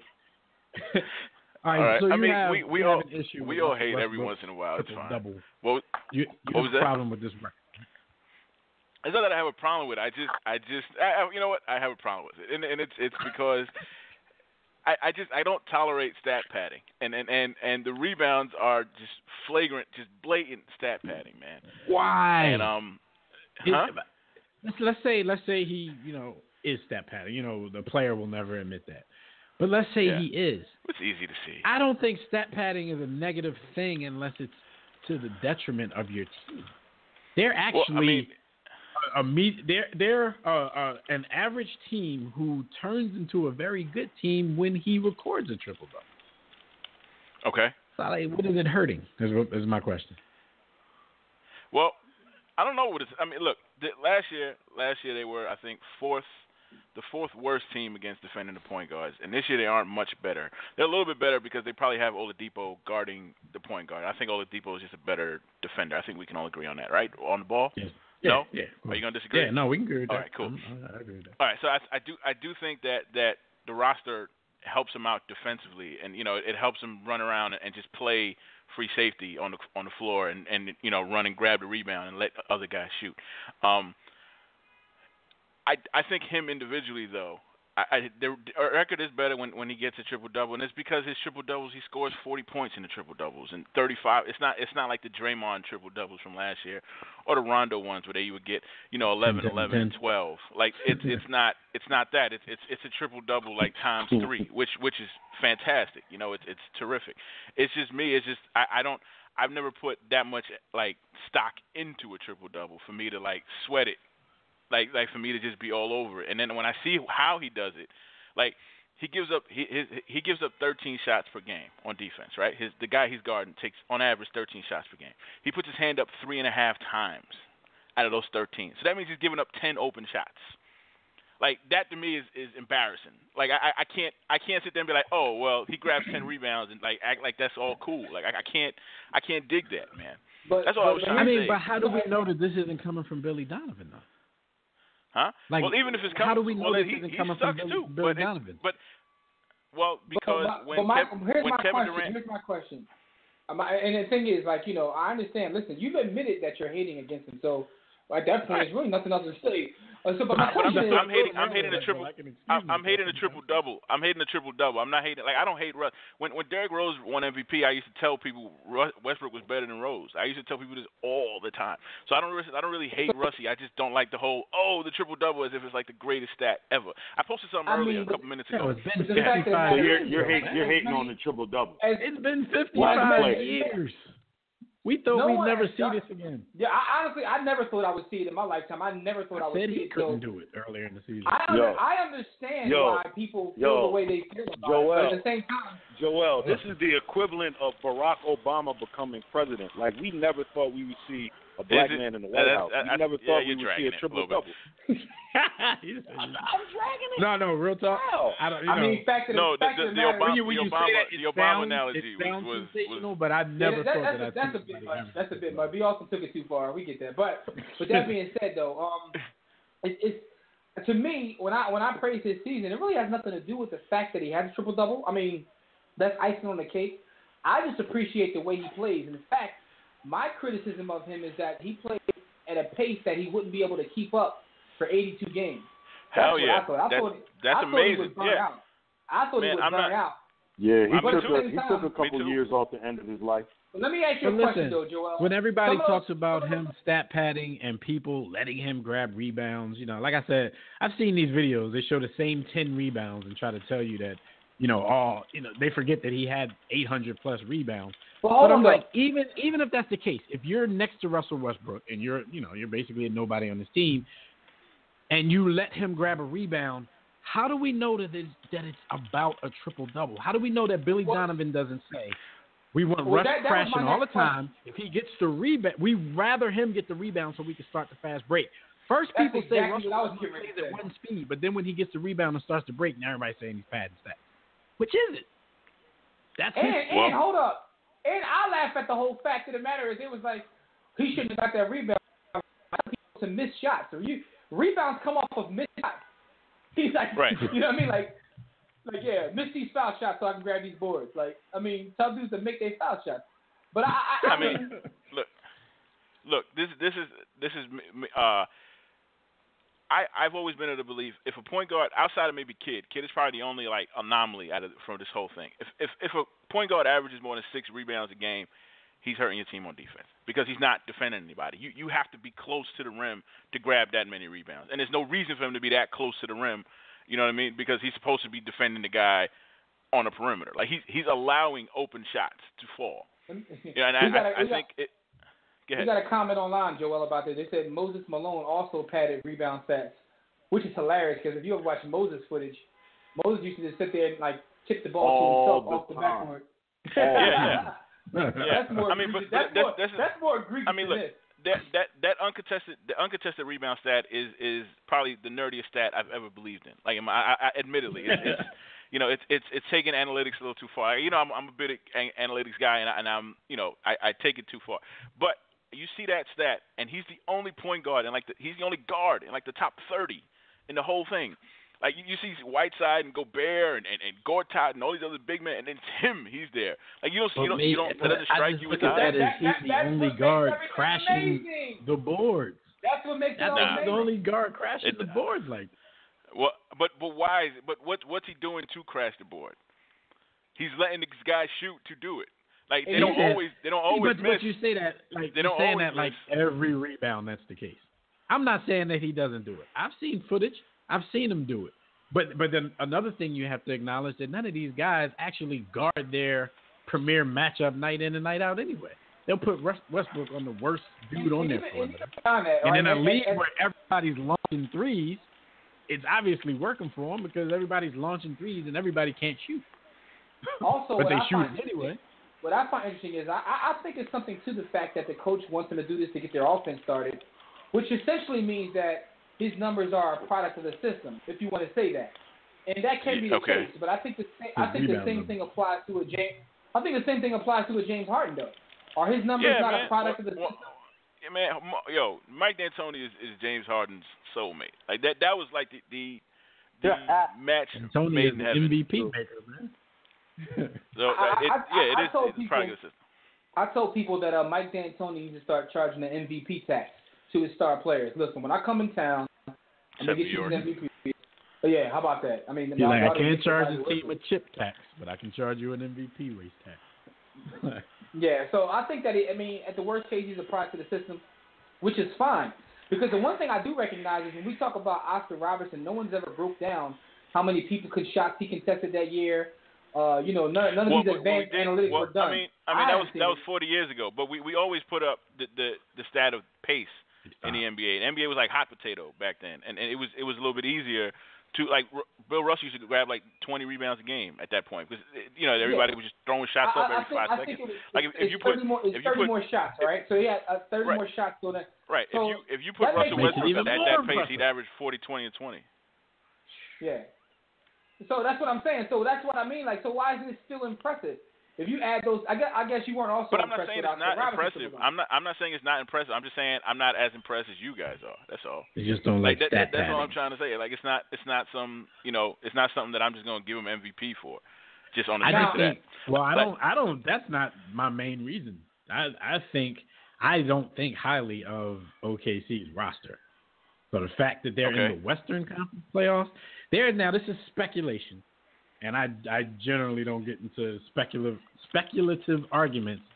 But if you think about it, there's a possibility that if they were in the Eastern Conference, you know, it's always if if if they could they will possibly be the number one seed, and everybody will be thinking Oh, about this Christ. MVP uh, totally different because everybody that? now that he's in the race, everybody say, "Well, what happened to winning?"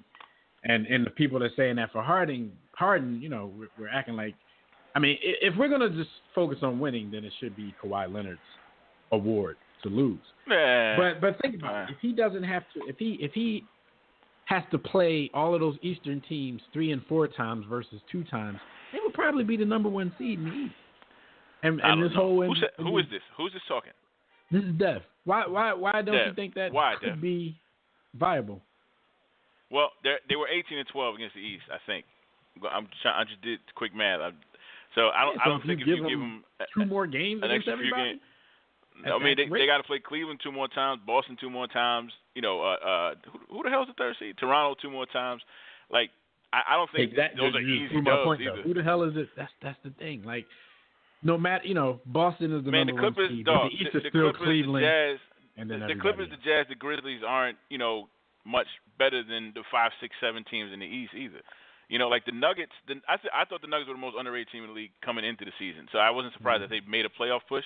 But I mean, they won 40 games too. Like, and, and the bottom of the Western Conference is straight trash. Minnesota, the Lakers, the Suns, know the what, Kings. though? They played them all four times. That's 16 games Here- against here's the thing. four to six worst records know- in the NBA. Hey Joel, I, I, this is Jimmy speaking by the way. I don't know what would have happened if they would have been in the East. Like you know, I can't speculate I on mean, that. I But don't what know I either. can I'm just what I, what I can say is this though. What I can say is that I've come to that re- the, to the realization too. that The West is overrated. Like it's literally Yeah, No, it is it- it- it- The it- West isn't what it was, but it's still the better conference.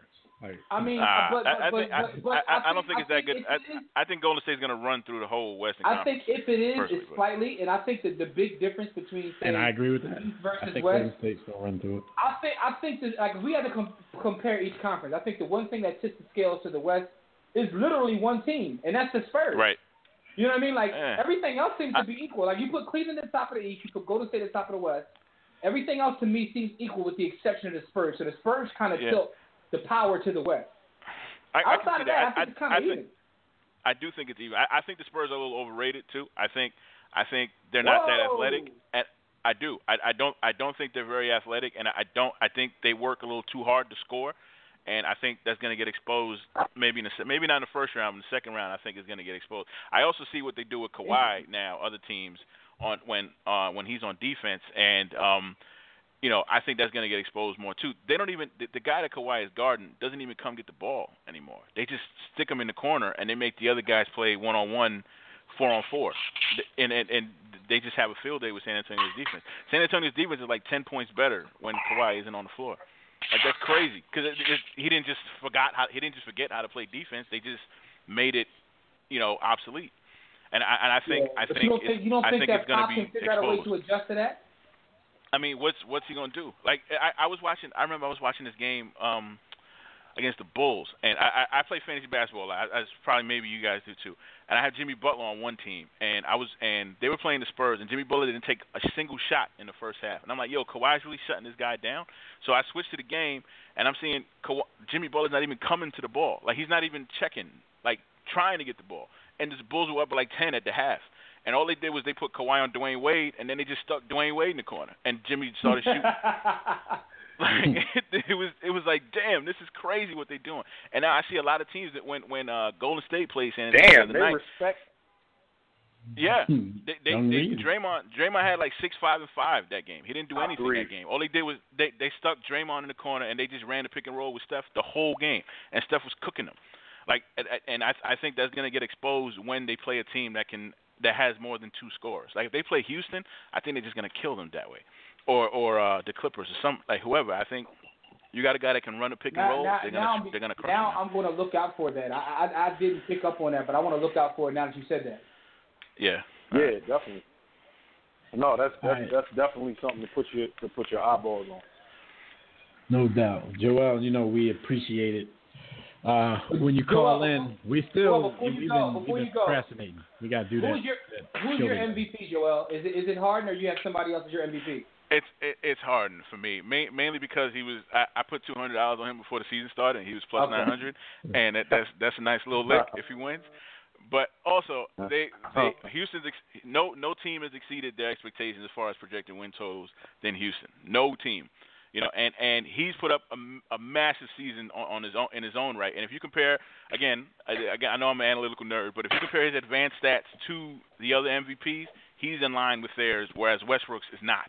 Westbrook is just really good with counting stats, where in efficiency he falls short of Harden. No, I, so I, think once, I put Harden in. once, once you said that, I already figured out what it was because I, I understand how what James Harden is doing from an analytical standpoint. All any anyone I know who's into analytics are pretty much jizzing over themselves It's, because of the it's a team Harden that guy, right? Right. Yeah. I, I, I made him. I made mention of that too. It's it's it's the great divide. It's more counting stats versus.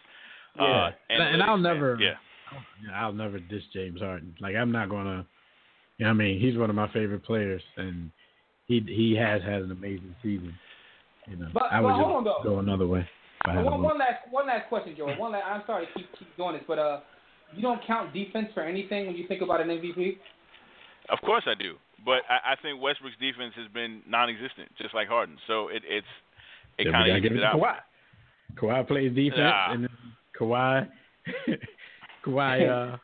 Uh, I mean, I, I, I like number two I like seed. Kawhi too, but I mean, I, I would look. I wouldn't mind like if Westbrook won or Kawhi won. Like they're all deserving. Like I, I'm, this is one of the best NBA regular seasons in a long time. Like as far as um, you know, just just with wow stats and and uh, d- d- uh, Greek Freak. He was the first the first player ever to finish top 20 in all five statistic major categories: points, rebounds, assists, steals, and blocks. He finished the top. he- No other player has ever done that.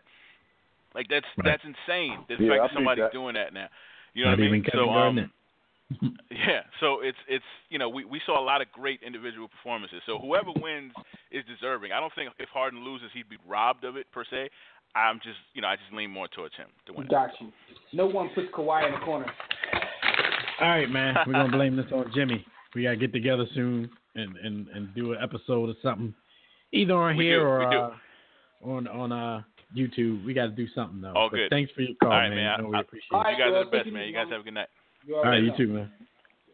Absolutely. Peace, Joe. That's what's up. That's what's up. Um, yeah. So you know, we we we gave our stat of the week and everything.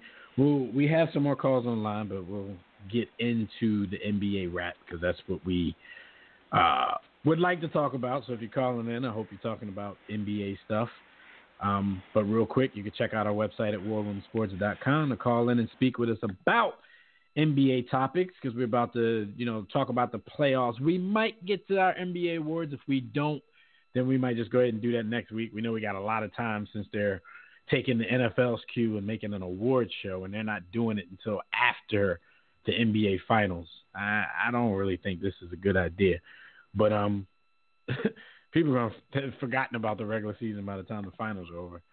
Uh, but anyway, uh, if y'all want to call in and speak with us about any of those NBA topics, just dial the Digital Extreme Tech hotline at numbers 323-410-0012. Press 1 when prompted. If you're already listening from your phones, press 1 if you want to talk. Jimmy, pay this bill, then we'll go back to the phone line real quick. Absolutely. The NBA rap is brought to you by Sports the Book. Listen, What? bottom line, it's the best sports book you'll ever read. You got to get it. And you can do so by going to sportsthebook.com or going to warroomsports.com and you can cop up right there. You already know, written by yours truly, and it'll change your life.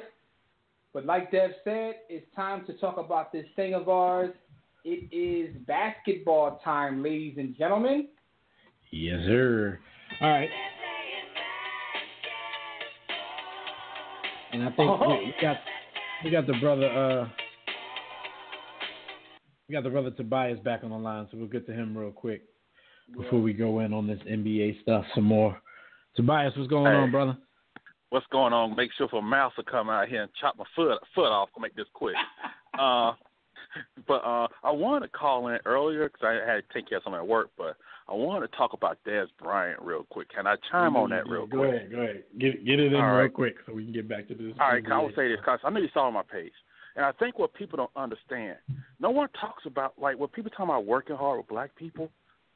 Being a professional athlete, you won the lottery. Well, many people don't get. No matter how hard you work, no matter how in shape you in, the average human being could be lucky to break the uh, 40 in six seconds.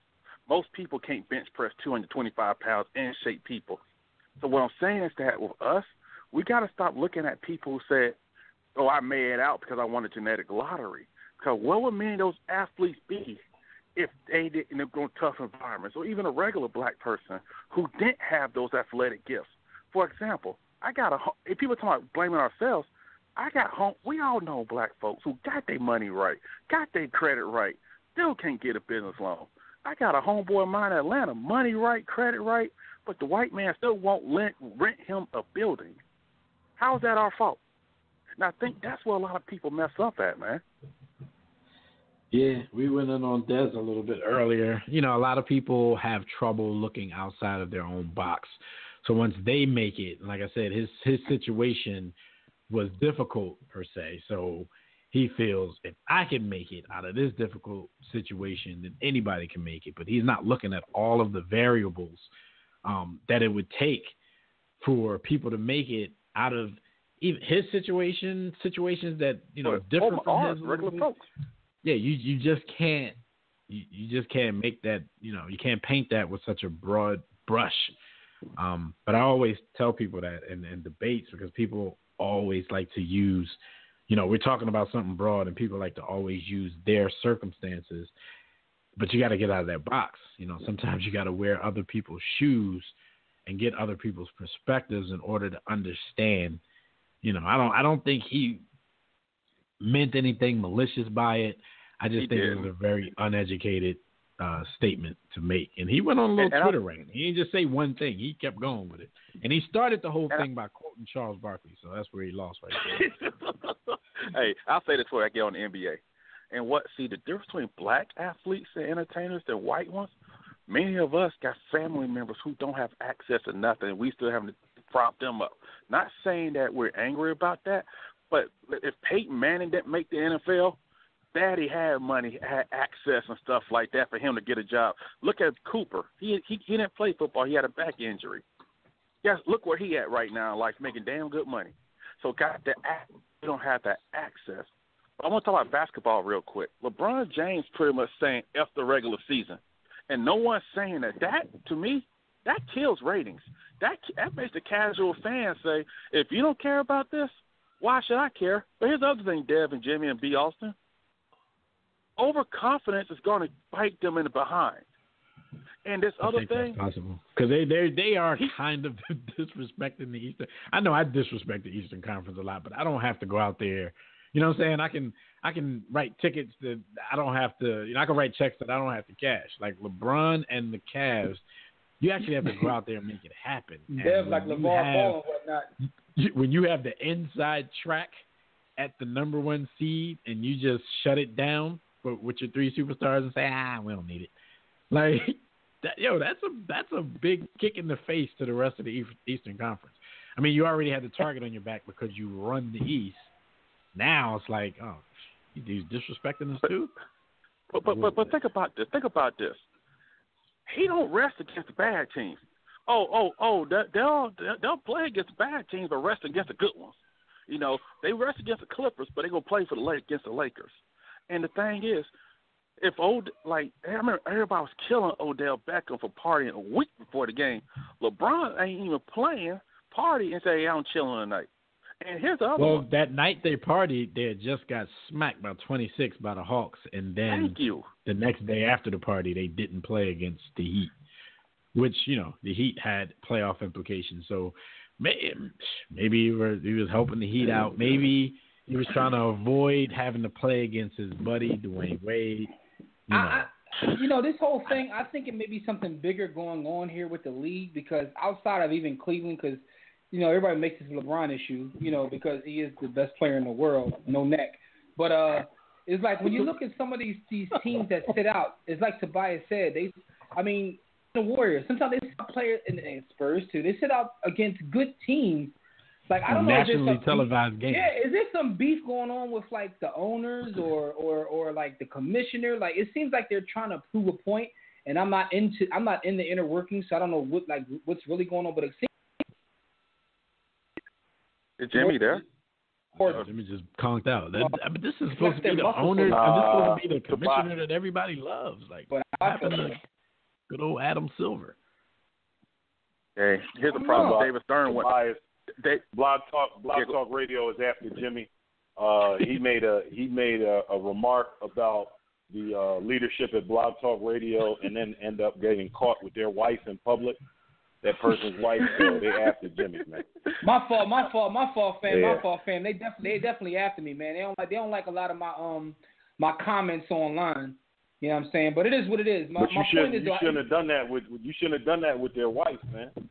With the Listen, wife, man, that's, that's how, that's how you move ahead. now. I'm on my on my drizzy jump. But my point is, it just seems to me it seems to me there's something bigger going on with how these teams are approaching by sitting out. Like they're trying to cause the league damage to sh- like flex their muscle. But they mess up their money because here's the thing. I'll say this. I know y'all got to get going, and thanks for taking my call. But here's the thing: they making more money than every. People look at it like this. Hold on, you got eighth, ninth, tenth men making ten million dollars a year. You got somebody named Mike Conley, who whose daddy's more better athlete and famous. You know, shout out to Mike Conley Senior of up there killing the, the Foot Locker slam dunk twenty years ago. But uh, you know, but here's the thing, guys it turns off your fan base, and you don't want to alienate your fan base. And be like it's like the one thing this I don't get with Kyle Cleveland like the Spurs rest. People get rest, they monitor minutes. Nobody playing forty five. Cleveland's like, hey, LeBron, Love, and D. Uh, Kyrie, everybody else playing forty five minutes. How's that fair? Nobody See, talks see, about that- that. Do you think is Tristan Thompson's mad thing. about that? Tobias, it definitely turns the fans off. That's why I kind of, you know, I get frustrated with people when they try to defend this whole thing because, um, and you know, I, I guess I'm guilty of it too because I'm about to use my own example. But you know, being where I am, there's a lot of example of you know myself here because this is pretty much a transient area. Like I live in a town that I'm not from. I know you know about that too, Tobias, because you you do as well. Yeah.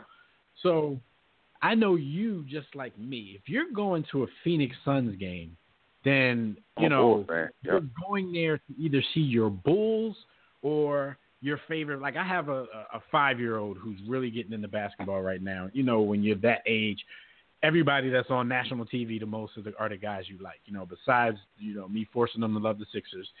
He, you know, he loves LeBron. He loves Steph. He loves Russell. Um, he loves all of those top tier superstars that they constantly market on TV because you know the NBA does not market teams; they market individual stars.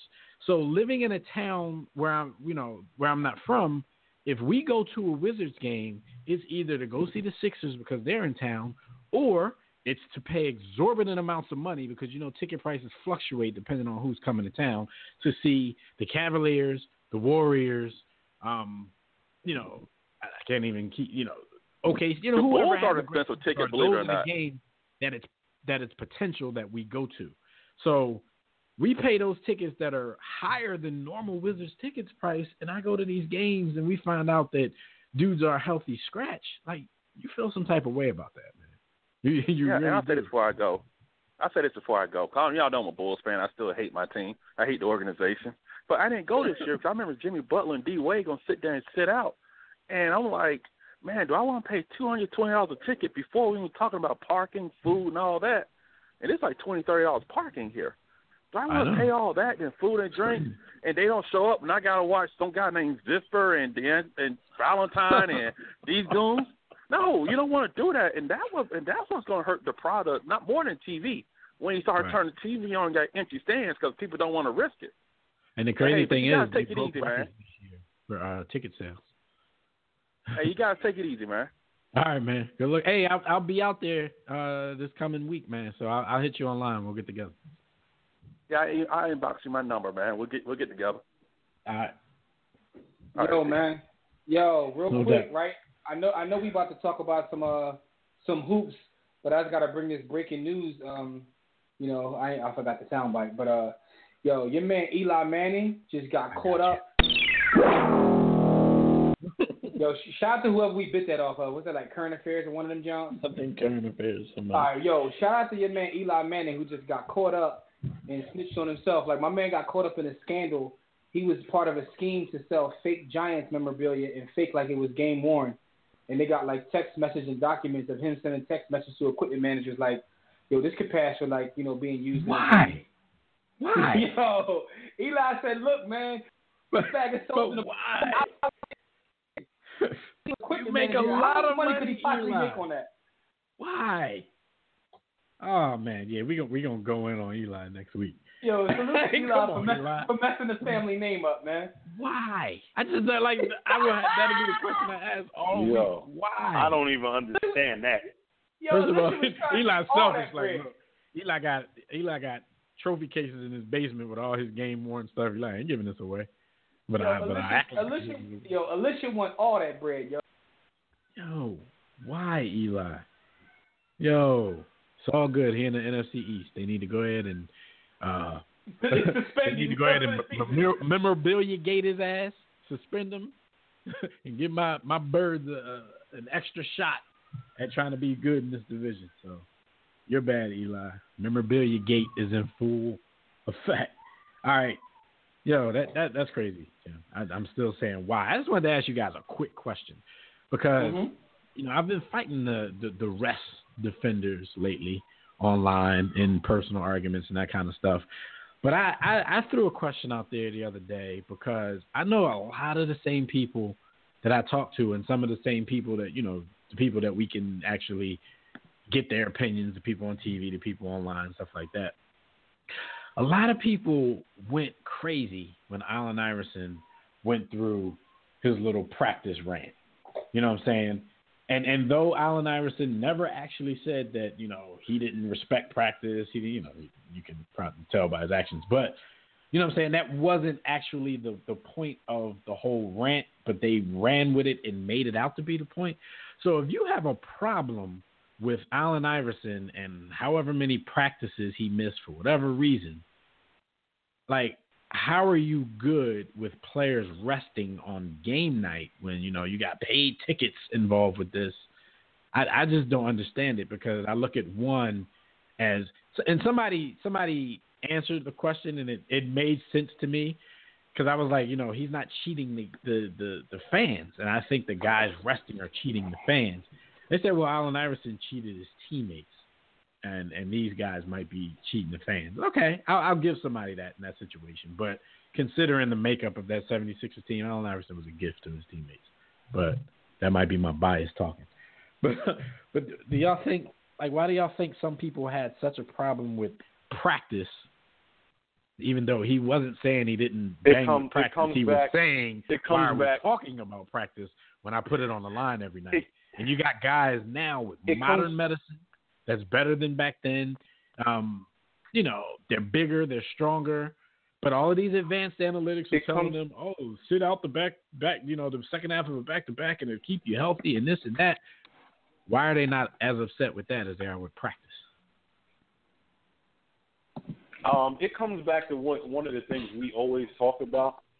Fans, and, and especially in today's game, it it shows itself more because people are able to express their opinions via social media and all of that. Everybody's a reporter, but fans make excuses for the players that they personally like, and they ignore facts and ignore logic when it comes to someone they don't like. So AI was a polarizing figure, and everybody that he he he kind of suffers, and bear with me on this, but he suffers from the same thing LeBron suffers from when going up against a uh, uh, a Steph Curry, right? Allen Iverson was able to do things that natural human being, no human being can do that. My man used drugs all summer long and did not play basketball and did Allegedly, not train allegedly, and would come in no. allegedly, allegedly, allegedly, allegedly. This is what he was accused of, and would come in and run a six-minute mile and be able to bust the ass of anybody in practice and anybody No that was on the court in front of him people didn't people didn't like that and he was marketed as representative of hip hop representative of young black masculinity so there were people both black white asian every, everyone that bought into that and said hey you know what i don't like that guy and what he represents so it doesn't matter what he does it doesn't matter how hard he plays i'm going to latch on to anything i can to drag him down. LeBron, in this case, has supporters that will say, well, we like what he represents, what he stands for, he's great. So we're going to ignore our miserable lives and we're going to prop LeBron up and give him excuses and give the Banana Boat Boys excuses as society moves along and excuses the lack of competitive greatness and excuses you know, players just giving it's, up. It's funny, giving right? up, you know. It, it, it's funny. It's funny to me because I, I think overall, what's happened in the NBA is like we're just at a different time. The culture of basketball has changed, right? Um, some people like to say it's the AAU AAUization of the league. Um, Mm-hmm. I saw I saw Michael Rappaport. He said he called it the skinny genification of the NBA. um, so people have different things. Some people, Yo, like, he you went know, on LeVar Ball too. Shout out, Yeah. shout out to Michael Rappaport. so some people have different ways to describe kind of what's going on with the league. But it's funny because when I sit and think about is all my OGs and my old heads when I was a young boy talking about the Magic and Mike, and they told me they was punks and they was P U double S. You know what I mean? Because they would talk about you know Wilton Russell have to ride on the on a bus eighteen hundred miles and play six games in in two nights, and you know they would. So it's it's, it's funny how I you know now I'm the uh, grumpy old man talking about you know what happened in my day. So I, it's it's a complete culture change. Um, and you know, remember Magic salute- and Michael even went on Allen Iverson about the whole practice thing. You heard Exactly, Magic, I so- love practice. Shut up. Yeah, so so essentially, it's one of those things where cultures changes. You love Everybody, every eh, eh, you know, um, the analogy I use is you know the the snow analogy. Like, you know, back in my day when it snowed, we went to school in 74 feet of snow. So, and as time goes on, those things become more and more exaggerated. But now Oh, we yeah. do live in a different time. We live in a time of analytics, and analytics is used by you know salute the money ball because analytics has changed the game. And once that movie came out, it was a wrap because analytics was being used quite before that. But that mm-hmm. kind of you know put it in terms of being a part of pop culture. And now people spend a gazillion dollars to deal with big data, and they follow big data. Data I think tells analytics is drawn a little bit, man. Yo, but see, here's, it's sort of like what Joel. Of course said. it does. Salute to Joel because Joel made a lot of great points, and one of the points that he made is, listen, analytics is good, but you can take it too far. He admitted sometimes I take it too far. You know what I mean? He said like that one stat is probably the, the, the nerdiest he's gotten on it. Jimmy. Analytics can't go too far. Jimmy. There's never, there's no end to it. Jimmy, Maybe so Jimmy, I can appreciate everything, every, everything that you're saying, and I can appreciate your position and where you're coming from. But I think in all of what you're saying, one thing I want to make sure that we don't lose sight of: right is right and wrong is wrong. When you do certain, and, and I'm not saying that that throughout the generations, players, teams, and all of those, all of those stakeholders in this discussion didn't do wrong things. But right now, when the good of the brand and the good of the game is falling lower and lower on the priority scale, that's wrong. So it's not just the difference Now- in generation. It's not you- just you rode No, the it- bus 1,800 miles and I get to fly on a jet. Yo, these cats don't respect the game. I mean, The no, listen, listen. I that that, that, that from your perspective, that's how you take it, right? But I, I now, if I'm a coach and I have all this big data in front of me that tells me, hey, if I sit a guy down every Wednesday, it increases his chance of not getting injured. Like, like coaches are making some of these decisions and they're doing it based upon their jobs because it's sort of our fault as fans when you think about it because we say it's all about the championship and nothing else matters. You know what I mean? But then you see something like the Nets last night who have no shot at winning the chips and they sit down too. So that, that's a whole different story. But in the grand scheme of things, the, what bothers people the most is, is, is when the Warriors do it, is when LeBron does it. And some of these guys consider themselves doing what's uh, the best for the team. They don't care about the league. They're doing what's best for their job and for the team. And I don't know. And I also think that it's something else going on. something that, different though. When they go on TV, they talk about how important the fans are to them and this and that. Like we have to put this in That's perspective, man. Sports is primarily entertainment. I know that's their livelihood Again, and all that kind game, of stuff. It's a game of amusement.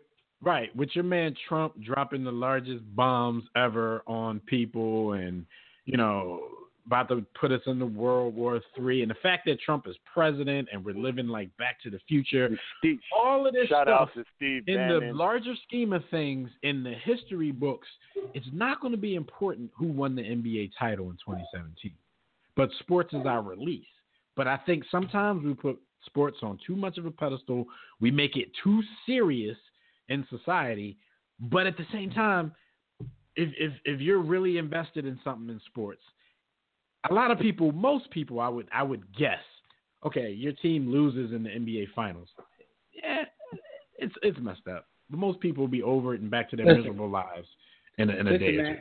And, You know and, I, I'm and I, I'm, I'm not I'm not disagreeing with either one of you, but I, I'm also like a believer in um you know like uh, the economist Milton Friedman once said like the market always corrects itself. So if this is really that much of a problem, it's up to us, those that watch and those that consume this content, to move on from it.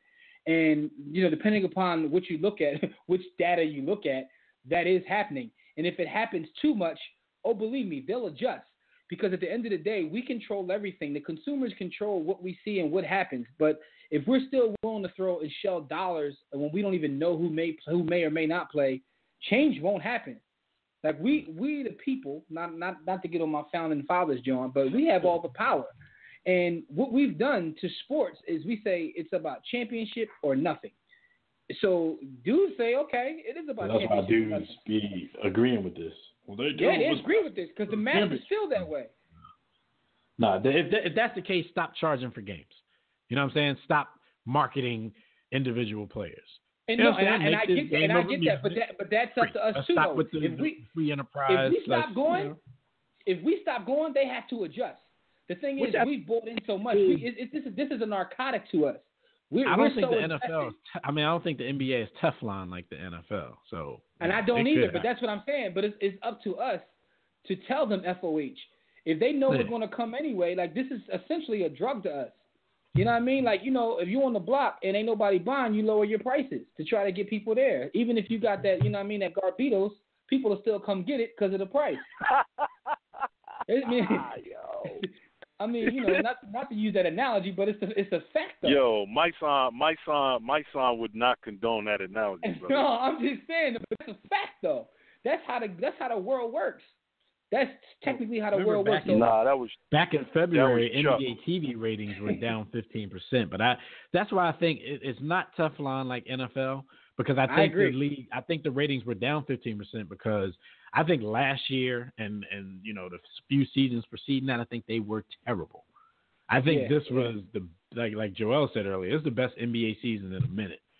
Mhm. So next year they might see the residual effects of that, and you know the the ratings might be up on TV, which is more important to them because the big money comes with the TV. It comes from TV, and it's funny because most NBA fans I talk to say the same thing. I'm like, yo, players is literally working like they work. They're taking weeks off at a time, and we still talk about how great a season it is. So right, and I'm and I'm guilty. they're gonna they're gonna take it further next year. They're gonna be like, yo, I'm taking this whole month off. I'm I'm guilty because as much as I've talked trash about the NBA regular season over the past decade, I've been an NBA League Pass subscriber every year. I mean, at the same time, we you know we still we do this, so you know Yeah. I, I get a certain level of mean, knowledge from being able Jimmy- to watch Jimmy. every game. But damn it, I need to cut the cord and pirate To- it somehow because it hasn't been worth it. But I keep to buying it. refer to refer back to refer back to your analogy though, brother. When you say the market, like if we can look at this as if we can look at what the players are doing now more as fundamentals as opposed to technicals, which move a lot quicker, then what you're really saying is the fact that these guys' behavior is egregious.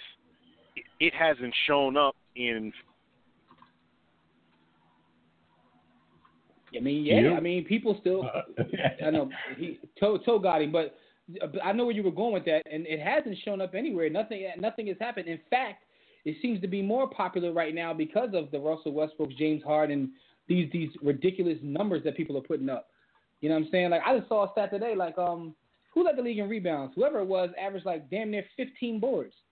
Um, it wasn't uh, Uh, DeAndre. DeAndre led the league in field goal percentage. Somebody else led the league in rebounds. Whoever it was, it was damn near 15 rebounds. I'm like, you know, um, Was it Whiteside? yeah, it was Whiteside. It was Whiteside. Yeah, it was definitely him. But that was the point. Like, you know, it's crazy, man. Like nothing's happening in the box office, so therefore, the way the way the game is currently going will continue to do that. I mean, it's up to us. Like we we control it, whether we want to believe that or not. the All right, results everybody, of course, we're gonna get to our saying. awards next week. Um, Jim, you just wanted to shout out the uh, players of the week. Uh, Absolutely. we don't have to do. I'm not going to do their stats, but Yeah, absolutely. we PG shout them out, and then we can P- pick these PG first.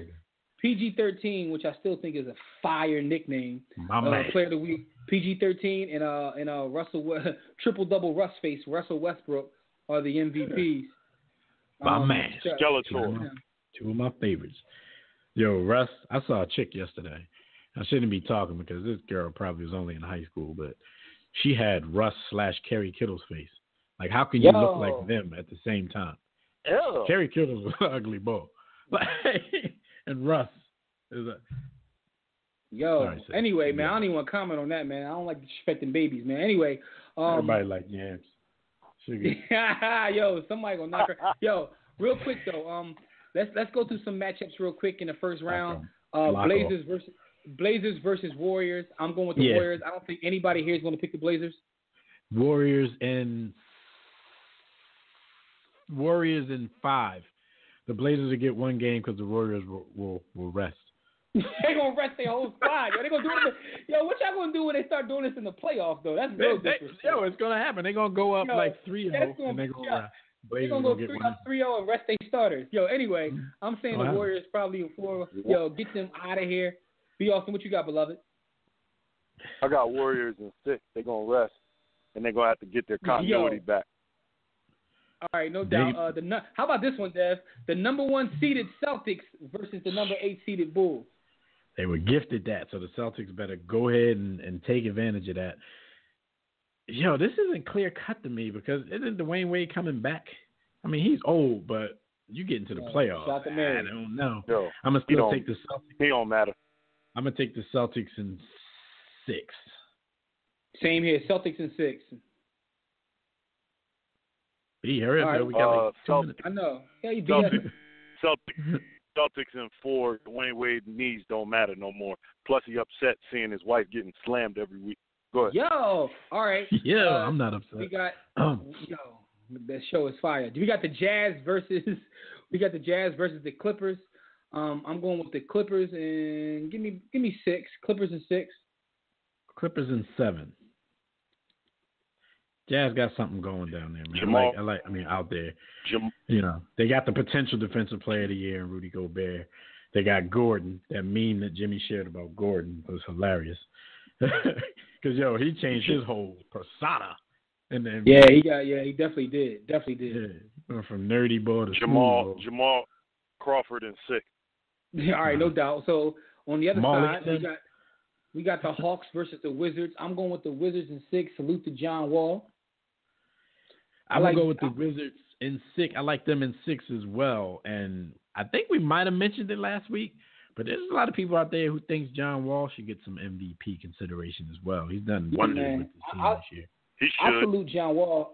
I salute John Wall because he be on IG like shooting his shots with Rihanna. Like he really be just like going after her. Like I mean, it's kind of stalkerish, but I still I still respect it though. So salute to John Wall.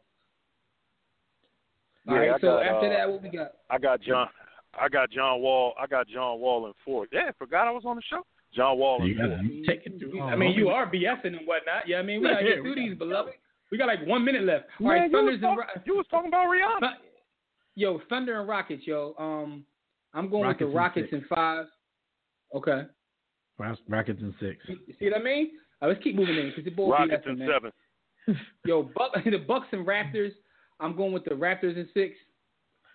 Same here. Raptors, Raptors in in six. five. Bucks are coming. All right. It's all that, Gri- but next year. Grizzlies and Grizzlies and Spurs. I got the Spurs in four. Got the I got the Spurs in three. Spurs in Spurs in five. I ain't gonna disrespect my Grizz brothers. All Mike right. Conley, one of the best point And- guards ever. Look and at we his got the cat. We, we got the Cavs and Pacers. I'm going with the Cavs in four because they better they better win in four games after all the rest they got. All the disrespecting they're doing to this. The Cavs will win in five. I really don't believe that, but I just didn't want to say what Jimmy said. All right. All right, he we will do our Pacers NBA awards next Pacers in week. seven. People. Pacers in seven. All right, man. Thank you, good folks, for joining us in the war room. Shout out to everybody in the chat room, Facebook, Twitter. Anybody who called in and got through, we appreciate those we couldn't get to. We apologize. Tune in next week live right here on demand on the WRS Podcast Network for great sports talk. We'll discuss the NBA playoffs and much more. We'll probably get to our MVPs uh, one of these weeks coming up. So until then, enjoy your weekend in sports. Enjoy your week. Catch us right back here next week. Catch all of our conversations, all of our social media, anything that we do, blogs, webcasts, anything can be found at the Hub. The Hub is known as warroomsports.com. Also, pick up my book at sportsthebook.com or on warroomsports.com, the Hub, as previously mentioned. Until next time, everybody, don't accept mediocrity. Steadfast in the war against ignorance, and we'll see you chumps on top.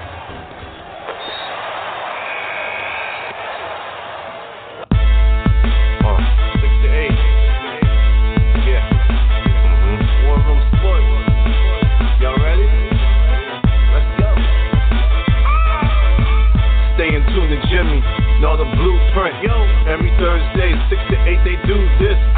Shout out to Dez, PJ, B. Austin, Bay on replay. Uh, WarRoomSports.com. Get that mobile app. It's knocked out. 323 14 0012. They be going and you sensitive, then oh well. Yeah. Physical podcast, let's talk sports. Showtime like magic in the block push. Listen live, push one to join in. Rip your team or listen for your enjoyment. Hip hop scholars, pit stop and knowledge. Should be in sports credits, I ain't talking college. Five guys, no beef though. Corporate secret, but the streets know. Belafonte, I got a G flow. KC royalty, I'm in beast mode. Two hours, get your game up. Who's the best in sportscast? You better name us. War Room Sports.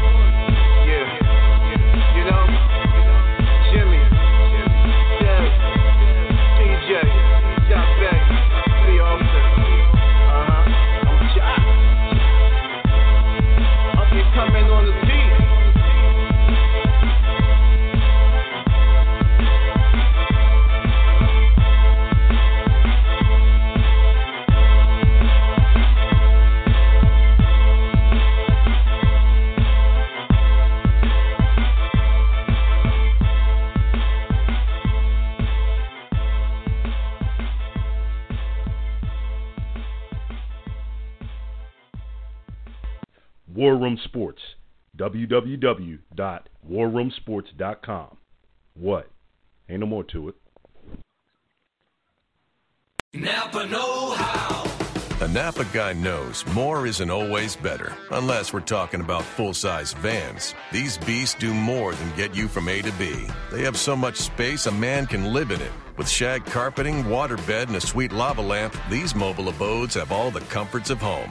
With quality parts and plenty of Napa know how, you can keep the original tiny house running longer, stronger. That's Napa know how. Napa Know